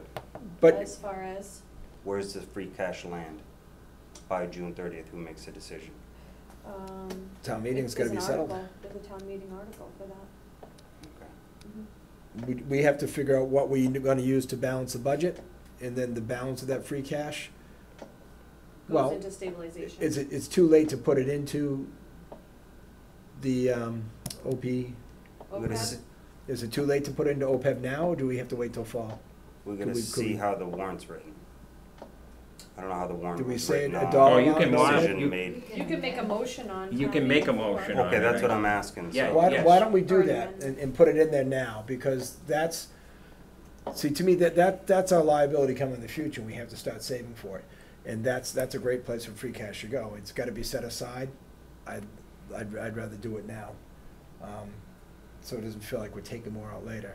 Let, let's put the twenty thousand additional to what Yeah. we, we said five, so we Come wanna to put- a, a we wanna move it- twenty-five thousand base. Right, we want, we were putting five in, we have to put Twenty thousand. twenty total. So not- twenty of the free cash. all right, so instead of moving five, we're gonna make a motion on the floor to move that to twenty. No. We're gonna do twenty, but the budget, the omni, whatever budget we have, is that a, a separate article for the That's OPEB, not or is, No, it's an article. It's an so it's a article. separate article for OPEB? That's Yeah. five thousand? Yes, So we wanna make a mo, we wanna make a motion on the We floor to. keep both of them. yeah, you can, you can make the change right up No, until the what I- vote. what do I'm saying is- Keep both articles. One There's would only say one put article. twenty thousand in You it, can't and one would create a say new put article. five thousand in it. Oh, so we create a want, new that's, article. that's what I'm asking, so we wanna put twenty-five. I am confused. I thought you just said there was already an article about free cash and where we'd put it. Right, we can And make we a could put motion to on the floor to say, rather than all stabilization, we're You gonna could- put a no. percent into the OPEB account that this other article is creating. No, No. you can make a motion to amend Amend the dollar the amount dollar amount. on the article. On the article. You Mhm. cannot create new articles. So I'm trying to find out, So on the article for OPEB, Mhm. right now it's five thousand. right, but where are the funds coming from? Does it define it, or does it, it could come from anywhere? It's coming from free cash right now. The five thousand dollars for that currently is coming from free cash. As are another hundred thousand dollars. Then we just change that to twenty-five thousand I on that believe- article. Yeah, I That's believe what I was you have asking, so we make wanna a make it motion to twenty-five, amend not that. twenty. Right, you allow the, Okay. you allow the motion to be entered onto the floor, and then you make an amendment to that. Make a motion to, to amend. And when people ask why, it's because this is Yeah. what the design was, but we didn't Right. have the money. Now that free cash has been certified, we can put the appropriate amount in that we're supposed to be depositing this year. I just wanna make sure we do it in the right order. My understanding was it's like you do one before you can do the rest or something, and that's all I was trying to No, clarify, you're- so I it's the understood right- right. Right. It's And- the right And we also have a motion, an article that's gonna say, move a sum of money from free cash to stabilization.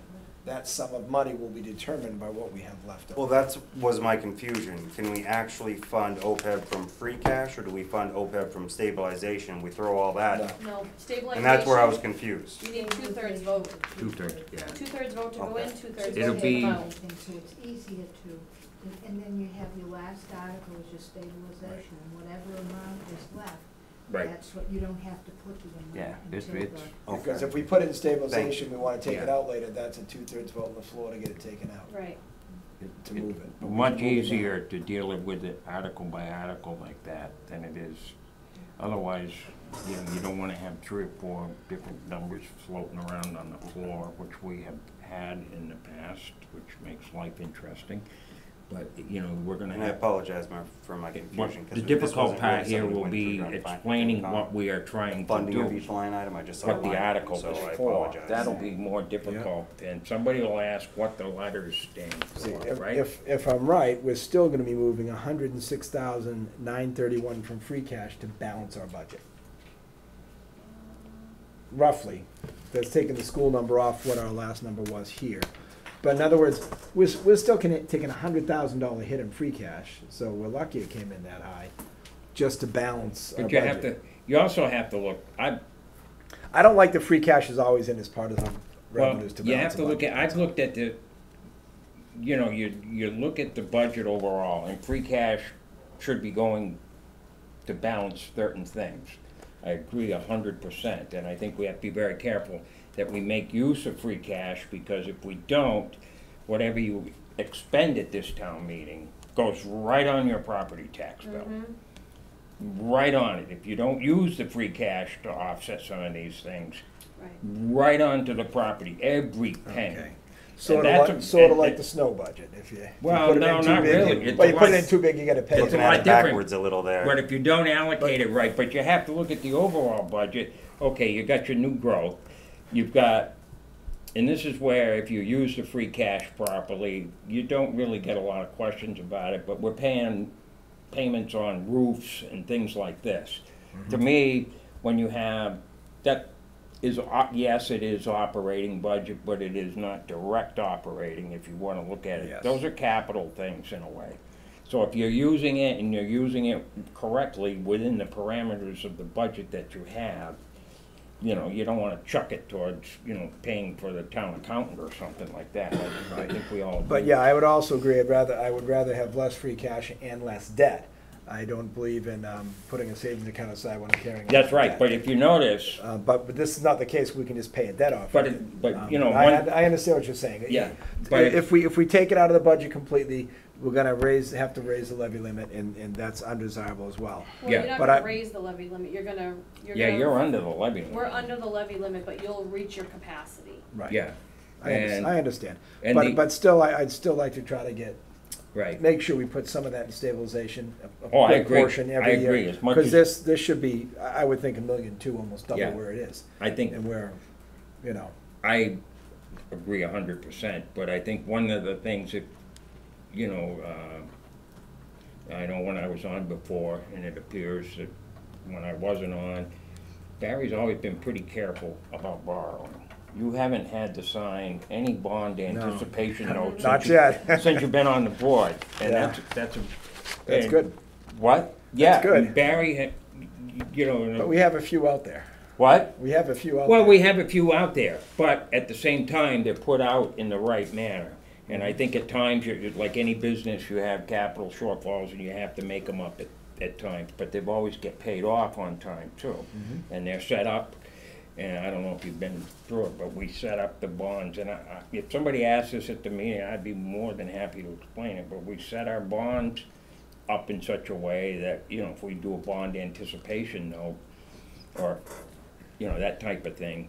Uh, or we put out a bond in anticipation of revenue, we put out like six of them. That way we can pay, if we have enough money, we pay one off, it's gone. Mm-hmm. Without, you know, we can pay much faster if we're in a Right. position to pay ahead. Costs a little more upfront, but it costs less in the long run, so. Same as credit card debt, if you can get rid of a small credit card and get rid of the interest. Yeah, Take but a I mean, hack I at think, get rid of it. I think, you know, like, we haven't had to do that, every so often, it has to, things happen, you have to do what you have to do if the state comes through with their money. Okay, But let's, we've been pretty good over the years, Barry, let's push through then, we're gonna. Yep, be- I'm ready. I think it's already nine. yeah, Okay, so. The regional building inspector, we- Yeah. Oh, one thing on the budget before we move past that.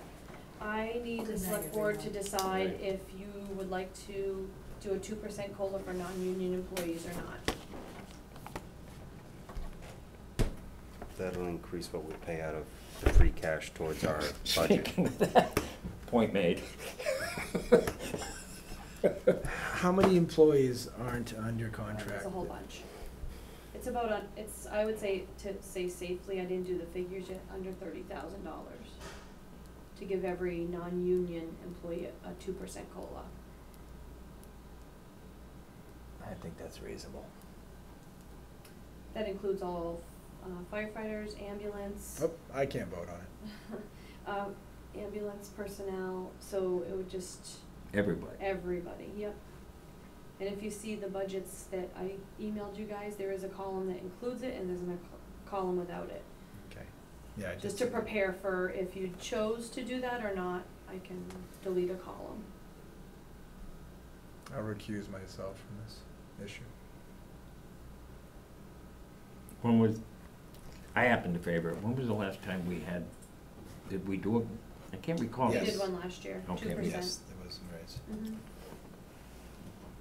Um, Maybe it's, it's crazy because I know it's thirty thousand and I know it's gonna upset a lot of people. But part of me is on principle. For the last three months, we've been crying poor. We're cutting everybody's department by two thousand, three thousand, five thousand. And now we want to throw thirty thousand in when we still can't balance the budget within our tax levy. We're still relying on free cash to make that happen, which means I don't think we're getting to the goal of, you know, it's generally stated that free cash is, best benefit is towards capital expenses, so you don't have debt.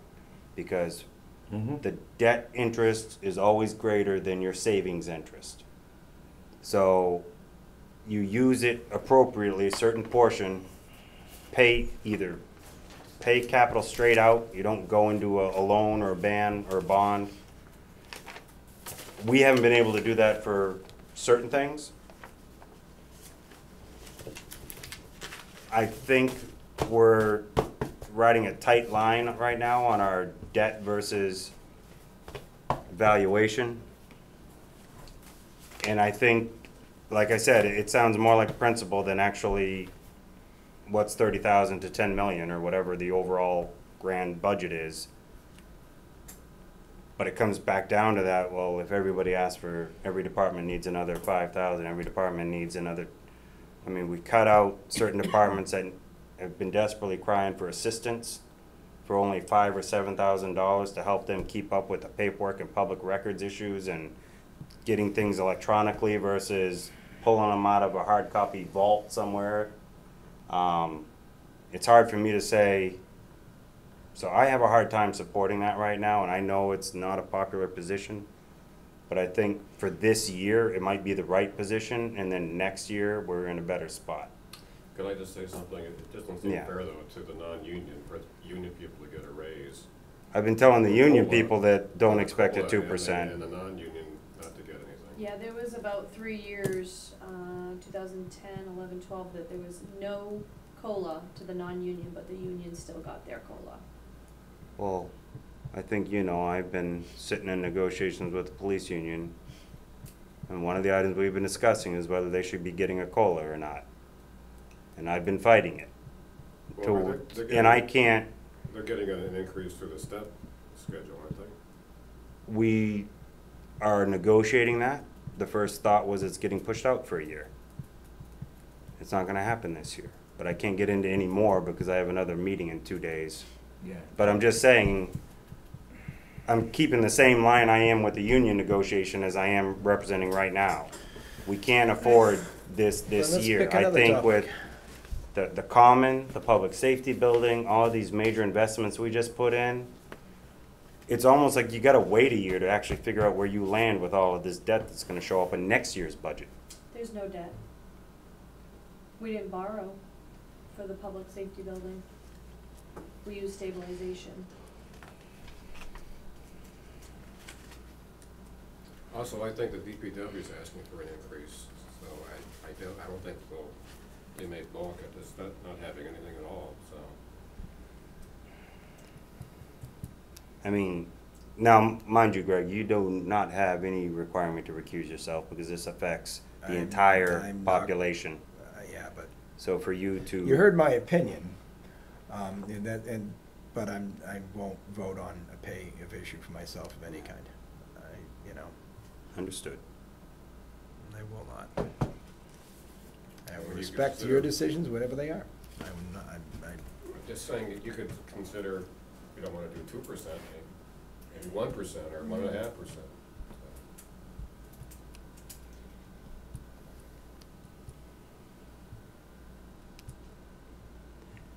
I just know personally that, I mean, I don't know, maybe the finance committee can have this fun and go and talk to the department heads. We said you can't have your assistant. Because they cut two departments that requested for assistance. And gave another department an assistant. but now all of a sudden we have enough money to give everybody raises, but we can't get enough work hours to make up the difference.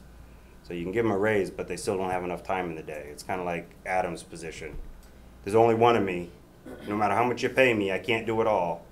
But we'll pay more, but we won't provide the extra hours to accomplish the, it's, we gotta pay attention to that is all I'm saying. And it's hard for me to go and stand in front of another department head and say just the opposite of that.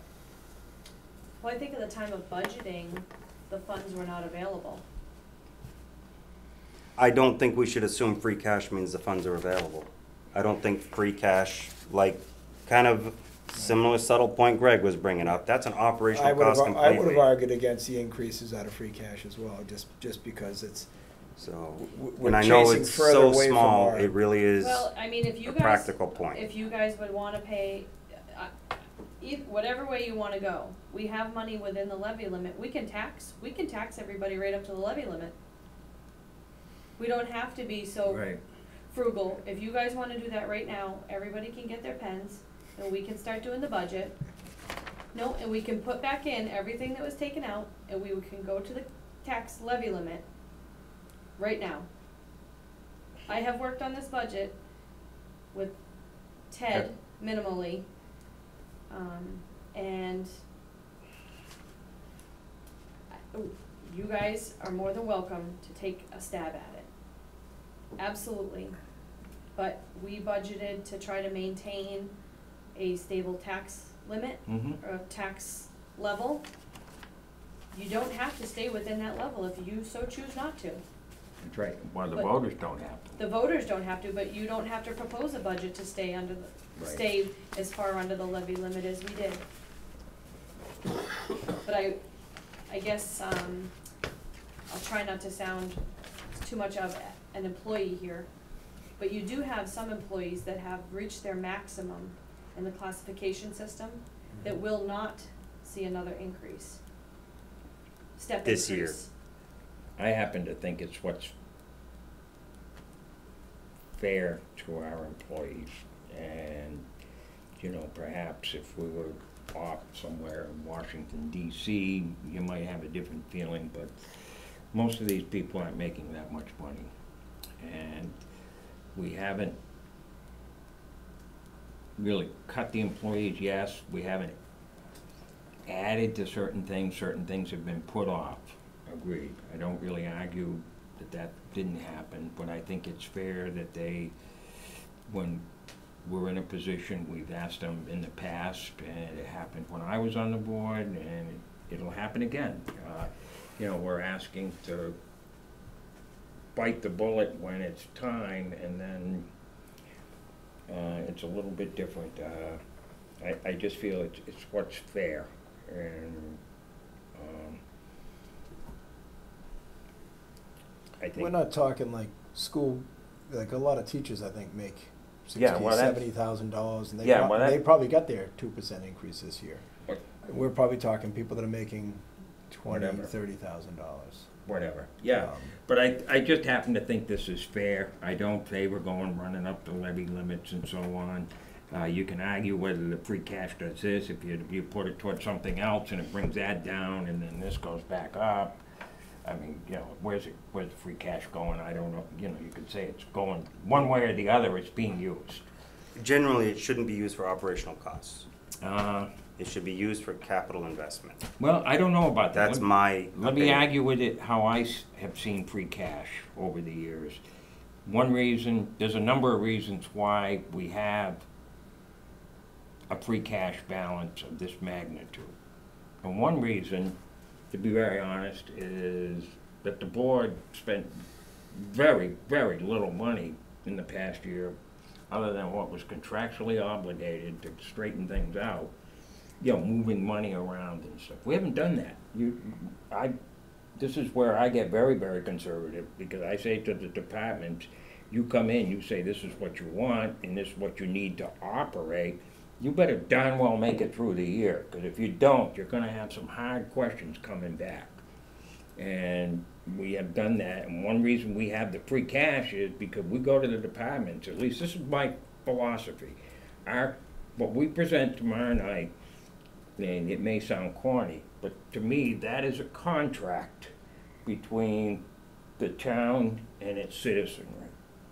And that con, like any other contract, it is sacrosanct. I think we all know certain things come up, and it, you know, we can't predict, you know, if there's gonna be some fire or something that costs a hundred grand to put out or something, we can't do that. But, you know, we have said that, and that's one reason we have the free cash that we do, because, you know, I, I feel very strongly about this, and when we don't have enough money, I will go and ask the department heads, why don't we have enough money in there? If you didn't, if you needed more, you should have come back in January and asked for it when you were putting the budgets together, and then we could have dealt with it, and if we'd taken it out and you needed it, well, then it's our fault.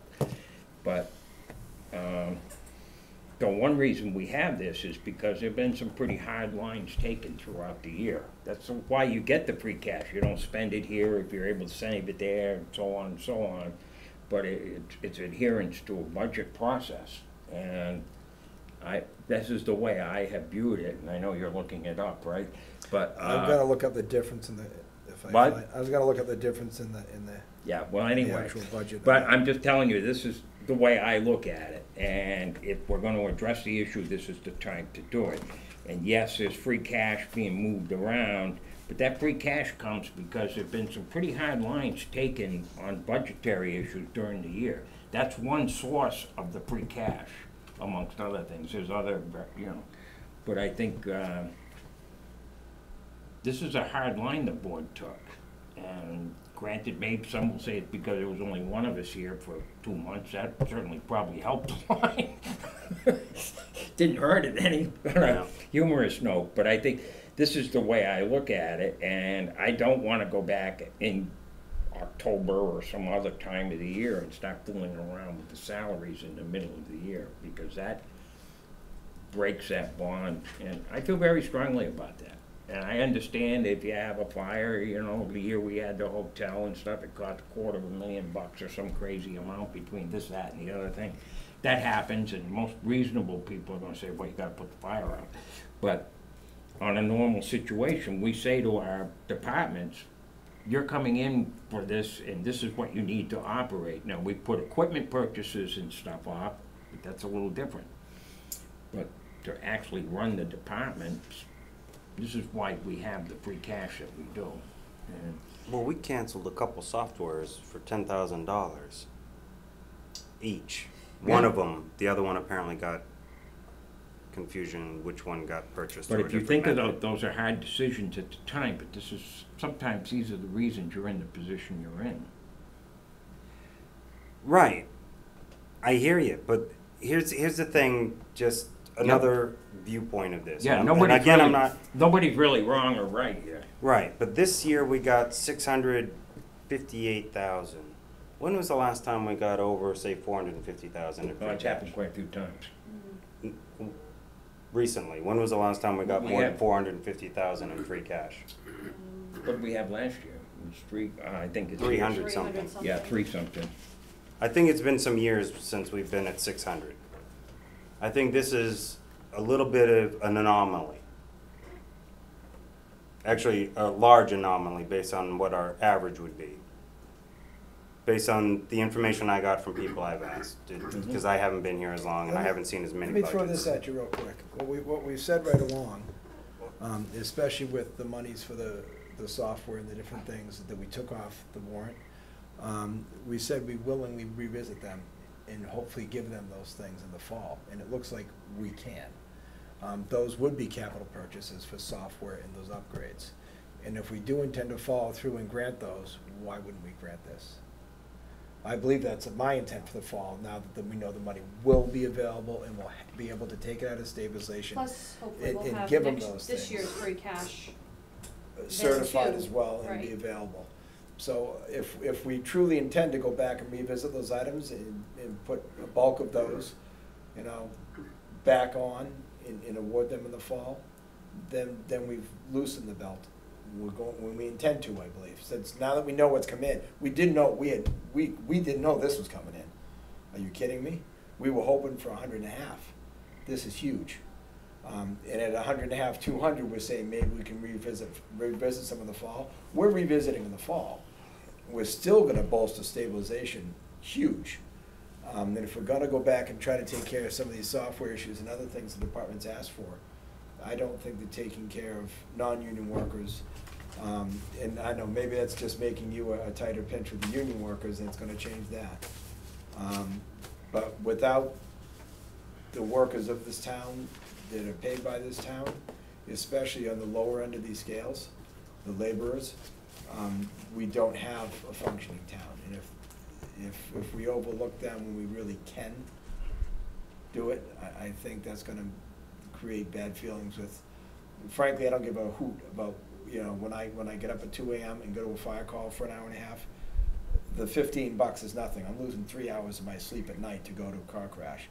I'm not doing it for fifteen bucks for the one hour of pay to lose three hours of sleep. So I don't, I don't care how it affects me, and none of the firemen will care how it affects them.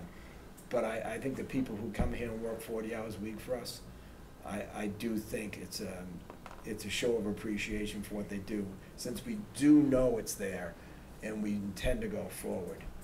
Um, Here's, I will, I got one more thing to say, and then I'll just leave it at that. But that's, One of the reasons we were sitting here waiting for free cash, other than just the time it took to get to it, and the reason we were cutting everything in the warrant was because this is a number you can never count on. right. You don't know what that value will be until it's done. We asked and we could barely get a- an estimate over two hundred thousand at the time when she was trying to get there.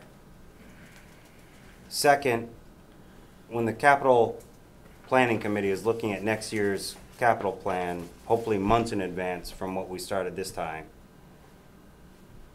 if we don't mess with this much and we really build up that stabilization line, We can get into that next. then we can actually determine a percentage of that and say, that's yours to plan for that year.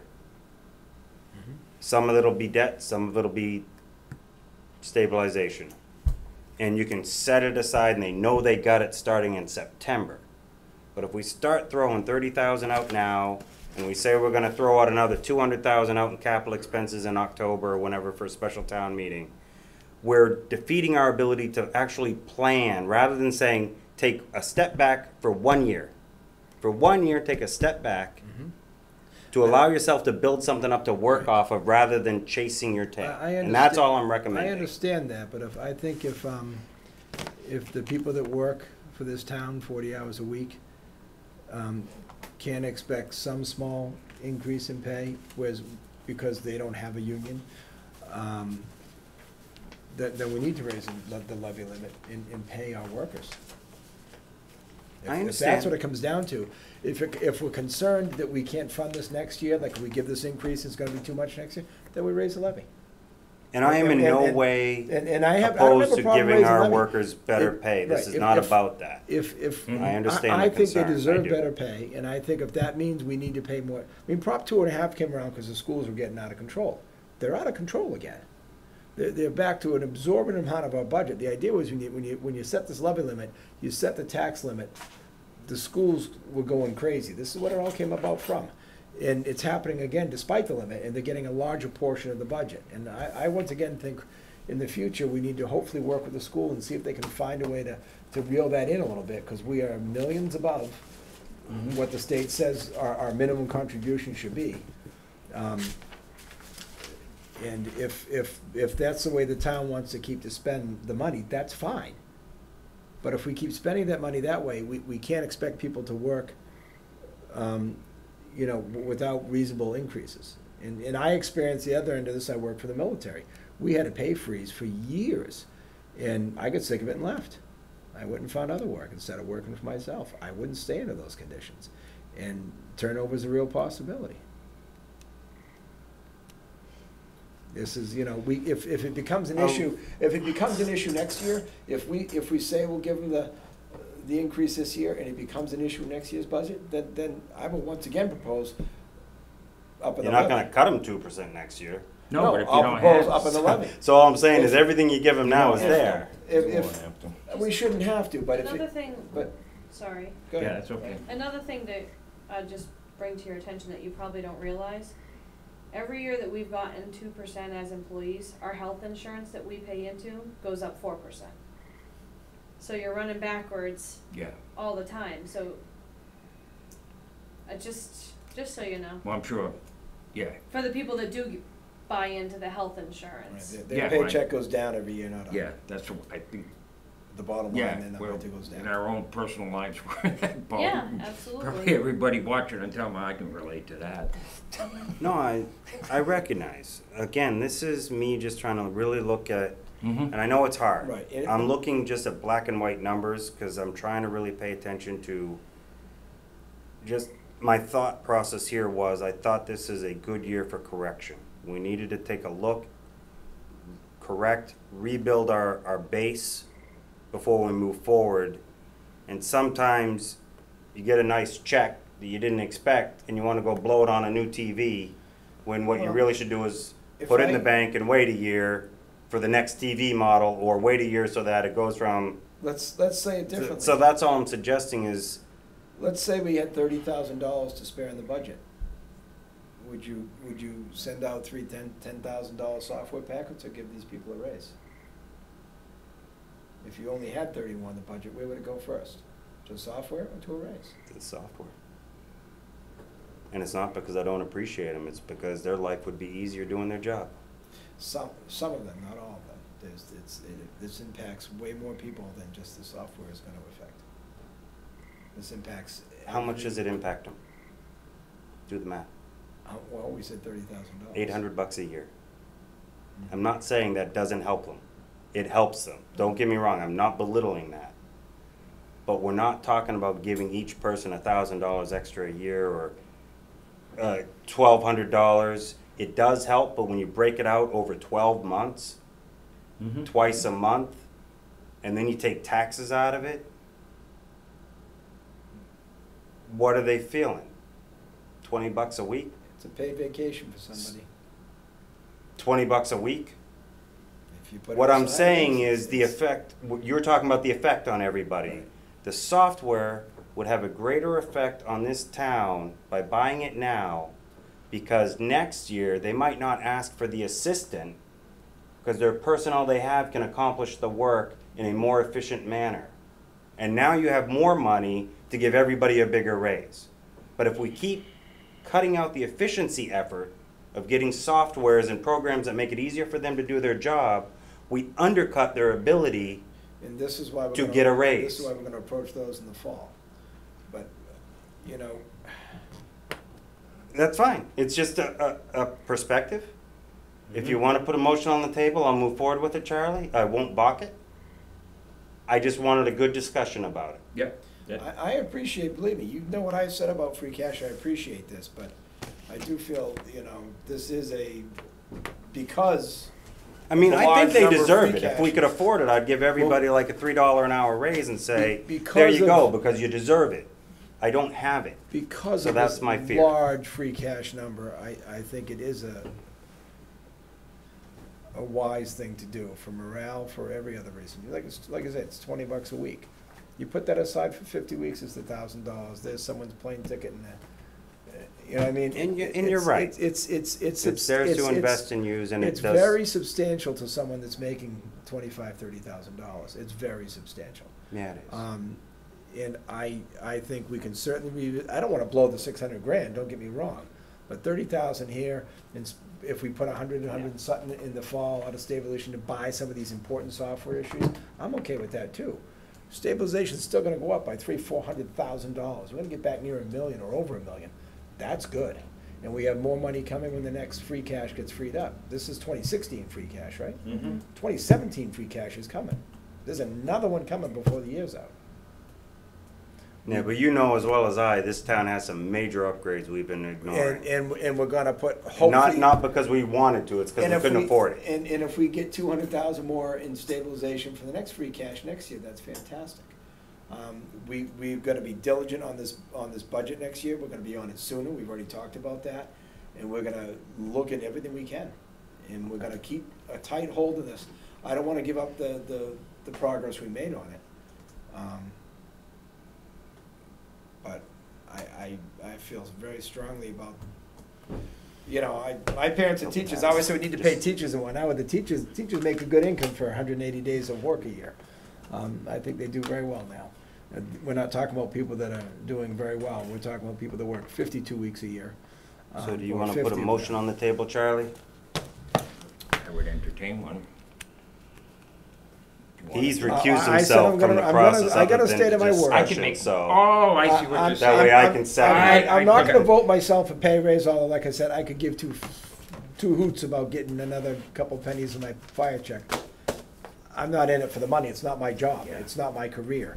It's, it's not a significant amount I of money forgot to me. about that. I did, quite, But I, I just wanna be heard on why I think it goes Okay. that way and make sure you guys. I will dealing make a with- motion that we authorize the two percent increase for all non-union employees. I would second that motion. Okay, I, I respect that. And, uh, you wanna add any? No, I've, Okay, I will c- call for a vote. In favor? Okay, I'm in favor. thank you, Matt. Thank you. No, it's, I I, understand. no, I appreciate the debate. I wanna have the debate. I like too. the debate, We all like the debate, that's why we're here till ten o'clock every night. not sure. Uh, Fay, let me ask you questions. You know, did you, did you run through the items other than the veterans ones? Because that sheet was really, when I opened it yesterday, I said, wait a minute, Ron's signature page, I saw some numbers this morning. Did you- Yeah. You went through Do it? a double check on it again. Okay, I, uh, you Jean know, and I are gonna go through all this and, uh, finish up the motions tomorrow with the, where the monies are coming from tomorrow, um, morning. okay. Cause these, I'll have to go to print tomorrow during the day. Like I saw the gas account still at a hundred thousand dollars Yeah, I in it. changed that. Okay, I that, have- that's, I that's why I actually- I said, have this is, copies. I, I just made a few, I was, you know, I only had two hours this morning, I put myself off work a couple hours off to do this, but I gave you one? I did go through it, and, Yeah, um, cause you wrote on yours, right? Yeah, you don't want your regular work to interfere Oh. with this job. yeah, no, no, I couldn't do Yes, I that. did. Okay. I took the kids off this morning because I held them up. Yeah, you don't want- hours. you don't wanna kids. do that. All right, I let's still race put through down this. a couple errors already on that. I've only been the only set of eyes looking through I this so know, far. that's, that's why I get back to you when I can, I'm Yep. just, So, um, if you could do a once-over on this again, Okay, if you find any corrections or whatever, I'll look at it at six AM. Okay, Okay. So I get six to seven, I can do it, with the hard copy, it's easier than on the computer though. Yeah. It's, it's, okay, as nice as that screen is, it's a lot easier to see it this way, so I can go through it. sure, But Okay. I'll, I'll go again tomorrow morning, I'll let you know if I see anything for sure. sure, Early. thank Guess you. we can make the note now of number sixteen, change to twenty-five thousand. OPEB. Yep, And that, once again, that's a savings to savings. yeah, we're not gonna That's change that right now. That won't be changed in the book. On the floor, that'll be It'll on the floor. Changed on the floor. We can't change this, but we can, we can, we can make a motion to amend the number on the floor before we vote on it. Mhm. Why can't we change that? We didn't put a dollar value on the warrant. no, but, uh, it's here, So you can just. present the number ahead of time rather than, re- I was confused. We presented the public hearing with that number. Yeah. One Wednesday. This is, I think, a lot, All right, Well, never mind. This is Change, a as- change as little as we can until the Good floor, enough. but, but let we the can. voters decide, and if they have, them see the number and they don't wanna make a pinpoint on that, so be it. But this is the much more visible and upfront way to do it, I Yeah. think. Um, Good enough. I don't know if Gotcha. there's any update on the regional building inspector. Okay. The uh, position was uh, reviewed by the town council, Jim Baird. It's gone to the town of Peterson for uh, Kopelman and Paige to review. That's So- where it is currently. Okay. This Okay, but Jim Beard was okay with it? And he made suggested changes which we incorporated. Okay, good. Okay, do we need a vote on Michael Stelmack? Uh, first, I have a couple wage authorizations. Okay. Sorry. Um, the first one is from the library department. Yeah, Uh, right, that's it. So, the library recently hired an employee, and Stephanie didn't work out, so, um, she's moving on to the candidate number two. So, um, that's the wage authorization for this person to fill that position. Is that state minimum? Nope. What? We don't have to pay state minimum wage. We're only required to pay federal minimum wage, which is still seven dollars and something cents. Really? We're exempt from state minimum wage We are. Wow, that's horrible. How does that work? Is it, is it kinda like the, uh, state senate saying everybody else does this, but we're exempt? It kind of, It sure they, sounds like for it. some reason accidentally included municipalities in one of these rare exemptions. We don't have anybody that makes state minimum, wa- I mean, federal minimum wage. No. Well, That's good. That would be horrible. So this is for, uh, I didn't get the name on that. Elizabeth Garrett. That. What was it? I make a motion to accept, I'm sorry, at ten seventy-seven per hour, minimum step CL dash one. I would make a motion to accept the appointment of Elizabeth Garrett as a library assistant. Second the motion? Okay, discussion?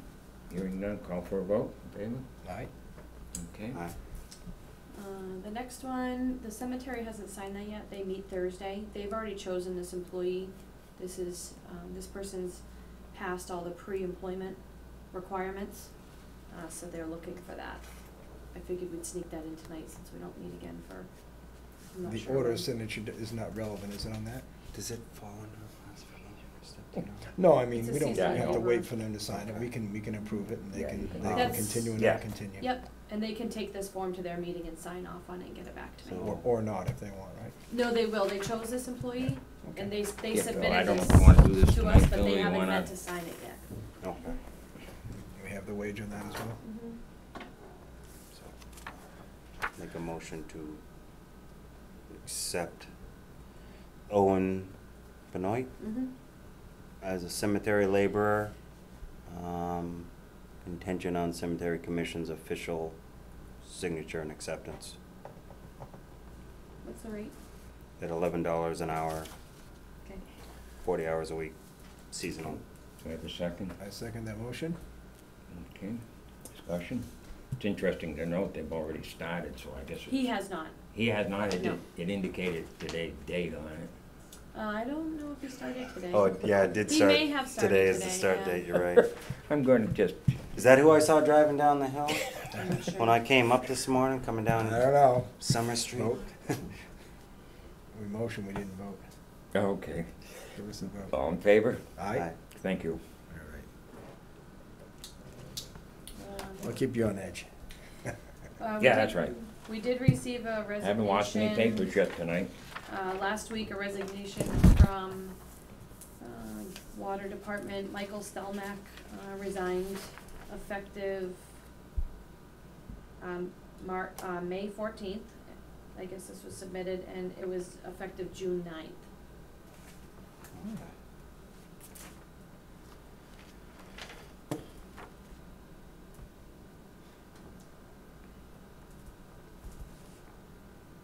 Okay. Make a motion to accept the resignation of Michael Stelmack. Second motion. Okay. Discussion, in favor? Aye? Okay, that's unanimous. Um, We're gonna make it out here before ten thirty. Oh, we better be. Okay, anything else? We gotta set the meeting schedule. Uh, what, Greg, do you wanna talk about that special Um, municipal, yep. special employee? What, do, do we Okay. have the, the designation? Are, are- are the firefighters considered special town employees? I don't, I didn't, have not honestly had I- a chance to be that, and I Tom do not George, believe they Tom are. Georgia said we were. Um, but that was, that was, um, Does he know when that would have been voted? Cause the selectmen would have voted it. He was very confident that that was the case, um, but I didn't ask as to when it was voted, but that, that was a concern. Um, We could Hmm. follow up with the town clerk, is that correct, or is What- it a meeting minute under us? and What's that's if going on is filed it we with have, them? um, one of the firefighters uh, runs an EMT school. He has for almost a decade now. He does classes out at, um, actually, I think Amherst College brings him out, and now Holyoke College. And he runs courses, he's been, he was originally out of Oakham Fire Station, and he did some out of Phillipston Fire Station. He runs EMT courses. And, um, I don't remember the exact scenario. He was set up to run a course someplace, and they decided not to do it, but they had so many students that needed to get into a class. So he'd asked the fire chief if he could do it here in Barre. And they just contingent upon him getting signed off from the ethics on it, because he's a firefighter, and then he'd be doing a contract work for the town. And ethics had asked something about the designation, if he's designated a special employee, then it- that was okay. I think that means as a firefighter, not as his Okay. contract work. Um, and once again, He's worked in Oakham where he was an EMT. He's worked in Phillipston where he was not on their payroll. Um, and in Oakham, ethics had said it was fine. He just had to, um, for example, if during a class they had a call and he went in the call, he couldn't be paid for that. So he just recused his paycheck for the entire duration of when his class ran, in that case, to s- safeguard from it. They may actually um, investigate that and say, oh yeah, if that's what worked in Oakham, that's what we're gonna do here. So in the meantime, he was, had asked me if I could check into it to see what we have for designation. And if they are not special town employees, if we, if firefighters are not, what would it take for us to change that designation? So this is gonna benefit, I think he was giving chief maybe four free slots in the class. Um, it's like When I was reading like up on 1100 it- a student, so that's a, that's a good freebie to let him use the The, station.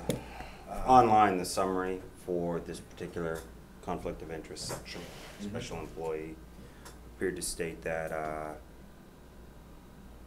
you cannot make an individual a special employee, No, you can we make a have to make- position. We'd have to make So the all part-time fire em- employees, Right. firefighters would be It would then have to be a considered broad special stroke with the employees. paintbrush in this one to to Um, redesignate everyone. If we had to redesignate, the- it may already be the designation. And what repercussions are there if we make a, a change, if we had to? I don't know how, I don't know Make the a change? definition.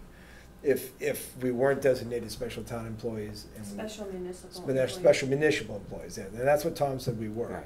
Special municipal employees. If, if that, I mean, I don't know what the definition is. Uh, I can only remember us designating, um, in my time, one person, um, and it was at a public meeting, so it doesn't matter, but Dave, uh, Richard from White Valley Auto. The selectman designated him as a special municipal employee because he's a commissioner, so he would get a check as a commissioner in the cemetery.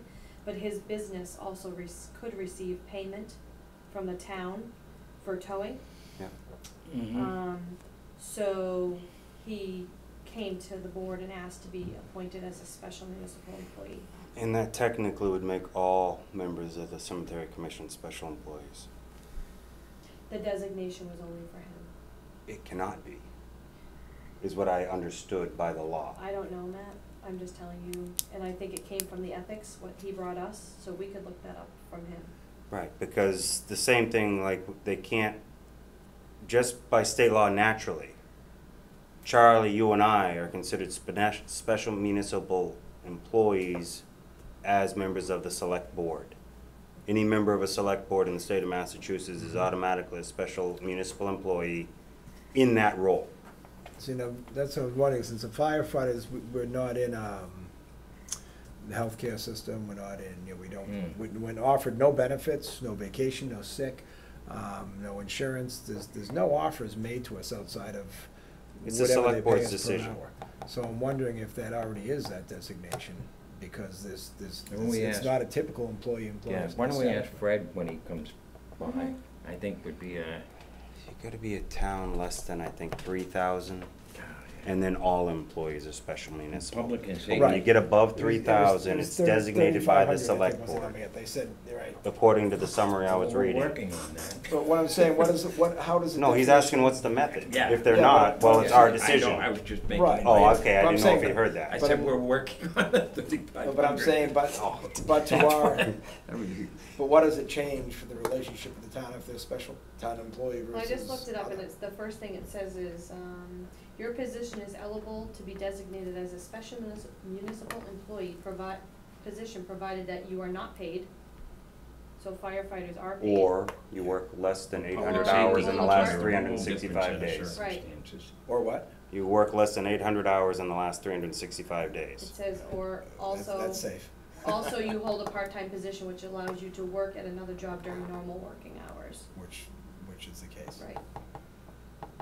So there's, Public safety comes under a whole different set of guidelines. Right. So if firefighters, if, So- if call firefighters are, What are you looking at, thirty-two or do we have to designate individually? Because if, if, if Chief Rogowski Just starts under with shifts ethics. and does Oh. per diem shifts, that would individually pull people out of that definition. So maybe, No, it it- wouldn't. maybe it doesn't have to be a. it, it, that comes back to the eight hundred hours worked or less. Right, but if. You know, I, I Okay, suggest we so I think- ask our labor council. Yeah. Yeah, I And also, he Appropriate reached out to ethics, correct? He's reached out to ethics. So I would wait and see what they say, because at the end of the day, if we're doing it wrong, they're the ones that are gonna come and tell us that we're wrong. Right, they so. may give him approval as he is, or they, or he may actually have to be a special town employee to be able to do this. Mhm. So if, if he's not, he, he, obviously, he can't come and make a request for this, but if he's not, either I'd have to see if someone else will come in, or I can make the request that we, that we change the designation. I think it benefits, um, obviously gonna benefit him if he runs a class, he'll make some money in his class, but, you know, he could always do it in a different town and, and probably pull the same six employees and go back to Oakham or somewhere else. Um, but if he comes here, what's in it for Barre is, is like four seats in his class. Yeah. That's what he used to do with Oakham, I remember. The chief said, sure, you can do it here, but give me X number of students per class. And he got a lot of his guys certified that way. Um, and his success rate in his class, he's got, he may still have a hundred percent passing rate. He's, he's, was an exception, the state even came out and looked at him, because so many people passing. And they just really like his teaching methods. And he's, you know, that Mhm. successful, it's, it's, it's- it would be a benefit to us, for sure. I'd never do it, I've got no interest in it. I don't, I don't know, I'm- Okay. Do you God bless them, they, guys- they take all that time, but. Have any discussion on the town administrative position? No. Um, we were able to coordinate Matt and Andrew with town council, uh, I'm sorry, labor council for Thursday morning at nine. Excellent. So, do that and then around, we'll finish that up in an hour and then I'll go to the police union at nine, I mean at ten. So, And then. It's good you're not letting your real work in- interfere. no, I'm just taking personal time and paid time off. I don't get that, I just don't go to work. it is, It's just, you just work You gotta build it into this, this fund that you can then pay yourself back with when you take a day right. off. You'll call it Yeah, your it's- holiday fund. it's like when the better half wants to go on vacation, I'm like, ah, Isn't sure, sure, I just won't get paid for a week. We had the cows, they don't But understand it's, it's, that. you gotta do it, you gotta do it. Cows don't understand that when we had the farm. No, No, no. Take a want- week off, yeah, they don't. They need to get milk. Yeah, oh, yeah. I was gonna say, that's And always the fed hardest part, I and think, watered. for a farmer Oh, was, God, yeah. how do you get away for a weekend or a week? Um, the next thing we have is the Neighbors. summer schedule.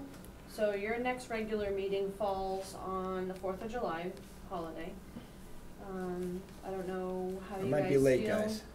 I make a motion to skip that meeting. Well, Second. if- Uh, hold- you want me to set the whole schedule before you do that? if- So in the past, um, the select boards have narrowed their meetings down to one meeting a month for the months of like, uh, July, August, September, and then they usually go back into Mm, regular session. um, We could have things pop up that will With our allow IT stuff that. coming, we can't do that. We just got him for thirty days. We've gotta stay on the IT, so we're gonna have to meet maybe on an off day. We've gotta stay with that IT issue and, and talk to Rutland about. That where- sounds great, but I don't think it's gonna work. I think right now, it'd still make the motion to skip July third. Yeah, we can schedule as needed, but And if then the rest would just be according to schedule, Mhm. except I will not be here for the first week of August, cause that is my vacation. Okay. What I had thought was maybe, uh, at least I need a pretty good rest here. Uh, I had thought maybe we You? could meet next Monday evening, and then we'd skip that week, we'd have a DPW week, it would put us into the third week of July. so you're looking And at it would allow us having any follow, Twenty-sixth? a, having a regular meeting the twenty-sixth? yeah, Okay, well, we haven't decided, yeah. And then go what, to August? Then we can decide from there. And if we have to have a meeting, I mean, I got a feeling there's somewhere, how about we look at July seventeenth after that? July what? Seventeenth, Well, like I said, we can, we can figure that out. If we meet in the twenty-sixth, we can ha- hash that out then. Well, do you wanna meet the, tw- Well, the tenth is DPW commission, the That's what I was seventeenth, thinking. right, would be our normal that could be your follow-up meeting for the selectmen month. meet. But the, the the question question is- does come up, Do we fit one in closing this out the town administrator contract. We're gonna have to meet and at least get that on the agenda to approve the contract. Well, depending on what happens Thursday, Charlie's proposing having a meeting Monday. Right, if that goes well, then Monday we close that if we're lucky, but then we've got to work with that town administrator immediately to get an IT director, something moving. So if we need to post a position, we're posting a position sooner than later, rather than waiting two, weeks, that's all I meant. So I don't know if that's gonna We're gonna squeeze in get- another, that's all. We're gonna get that guideline from Adam, right, and, and Mhm. wh- if he gets that to us This week. this week, that's, we could use that guideline and, For and Monday. and hand it in when we meet with, um, our new administrator, hand it over to him. Okay, I And we say could you go guys with that. go forward with the twenty-sixth right now, and how about on the twenty-sixth, we evaluate what you want for the rest of the summer? I want it all out. There's a lot going on. Yeah. I'm- I'm being honest. Um, sounds good. Okay, so. Actually, that first week of August isn't a meeting anyway, No. because it starts on the Tuesday, I'm sorry, That's August, so. Do you wanna, um, I don't, we don't need a motion, we can No, just just set state the that the meeting next date, meeting yeah. will be, next Next regular meeting, meeting will be the 26th. twenty-sixth. Same bat time? And just update my town government, because Yep. I think it auto-populates at July third, Mm-hmm. and just cancel it or whatever, if you don't mind. Thank you, I know we're, hey, let's throw more at you, but if, please, I'm thank you. pretty used to it by now. Anything else? So is July third still in question, or is No, that? it's No, out. that's out. No, it's out. no July third. No July No. Right now. You may we- be at your last meeting. Well, at least one more. So, what's your preference? What would you like to do, Phil? Stick out another meeting or start your summer? And I don't mean that in a negative way Let's see when- whatsoever. Let's see when the new person starts. I mean, I was thinking Okay. that they have to give, let's suppose that contract negotiations go well on uh, Thursday. And he gives two weeks' notice, three weeks' notice. I don't know whether he's gonna want a break, he might take off a week before he starts here beyond Right, his I got you. termination date from where he. He may turn in his two weeks and have two weeks vacation left But I, too. I'd like to move on as soon as I can. Okay. Why don't we see what, how things go on, on Thursday? I'll try to at least see if I can get a timeline from him regarding his notice intent and stuff like that Thursday. Yeah, I'll be there too. Okay. So we're all set? You tell me. I make a motion to adjourn. I second. Okay, David, Aye. Aye. Thank you much, all. thank you.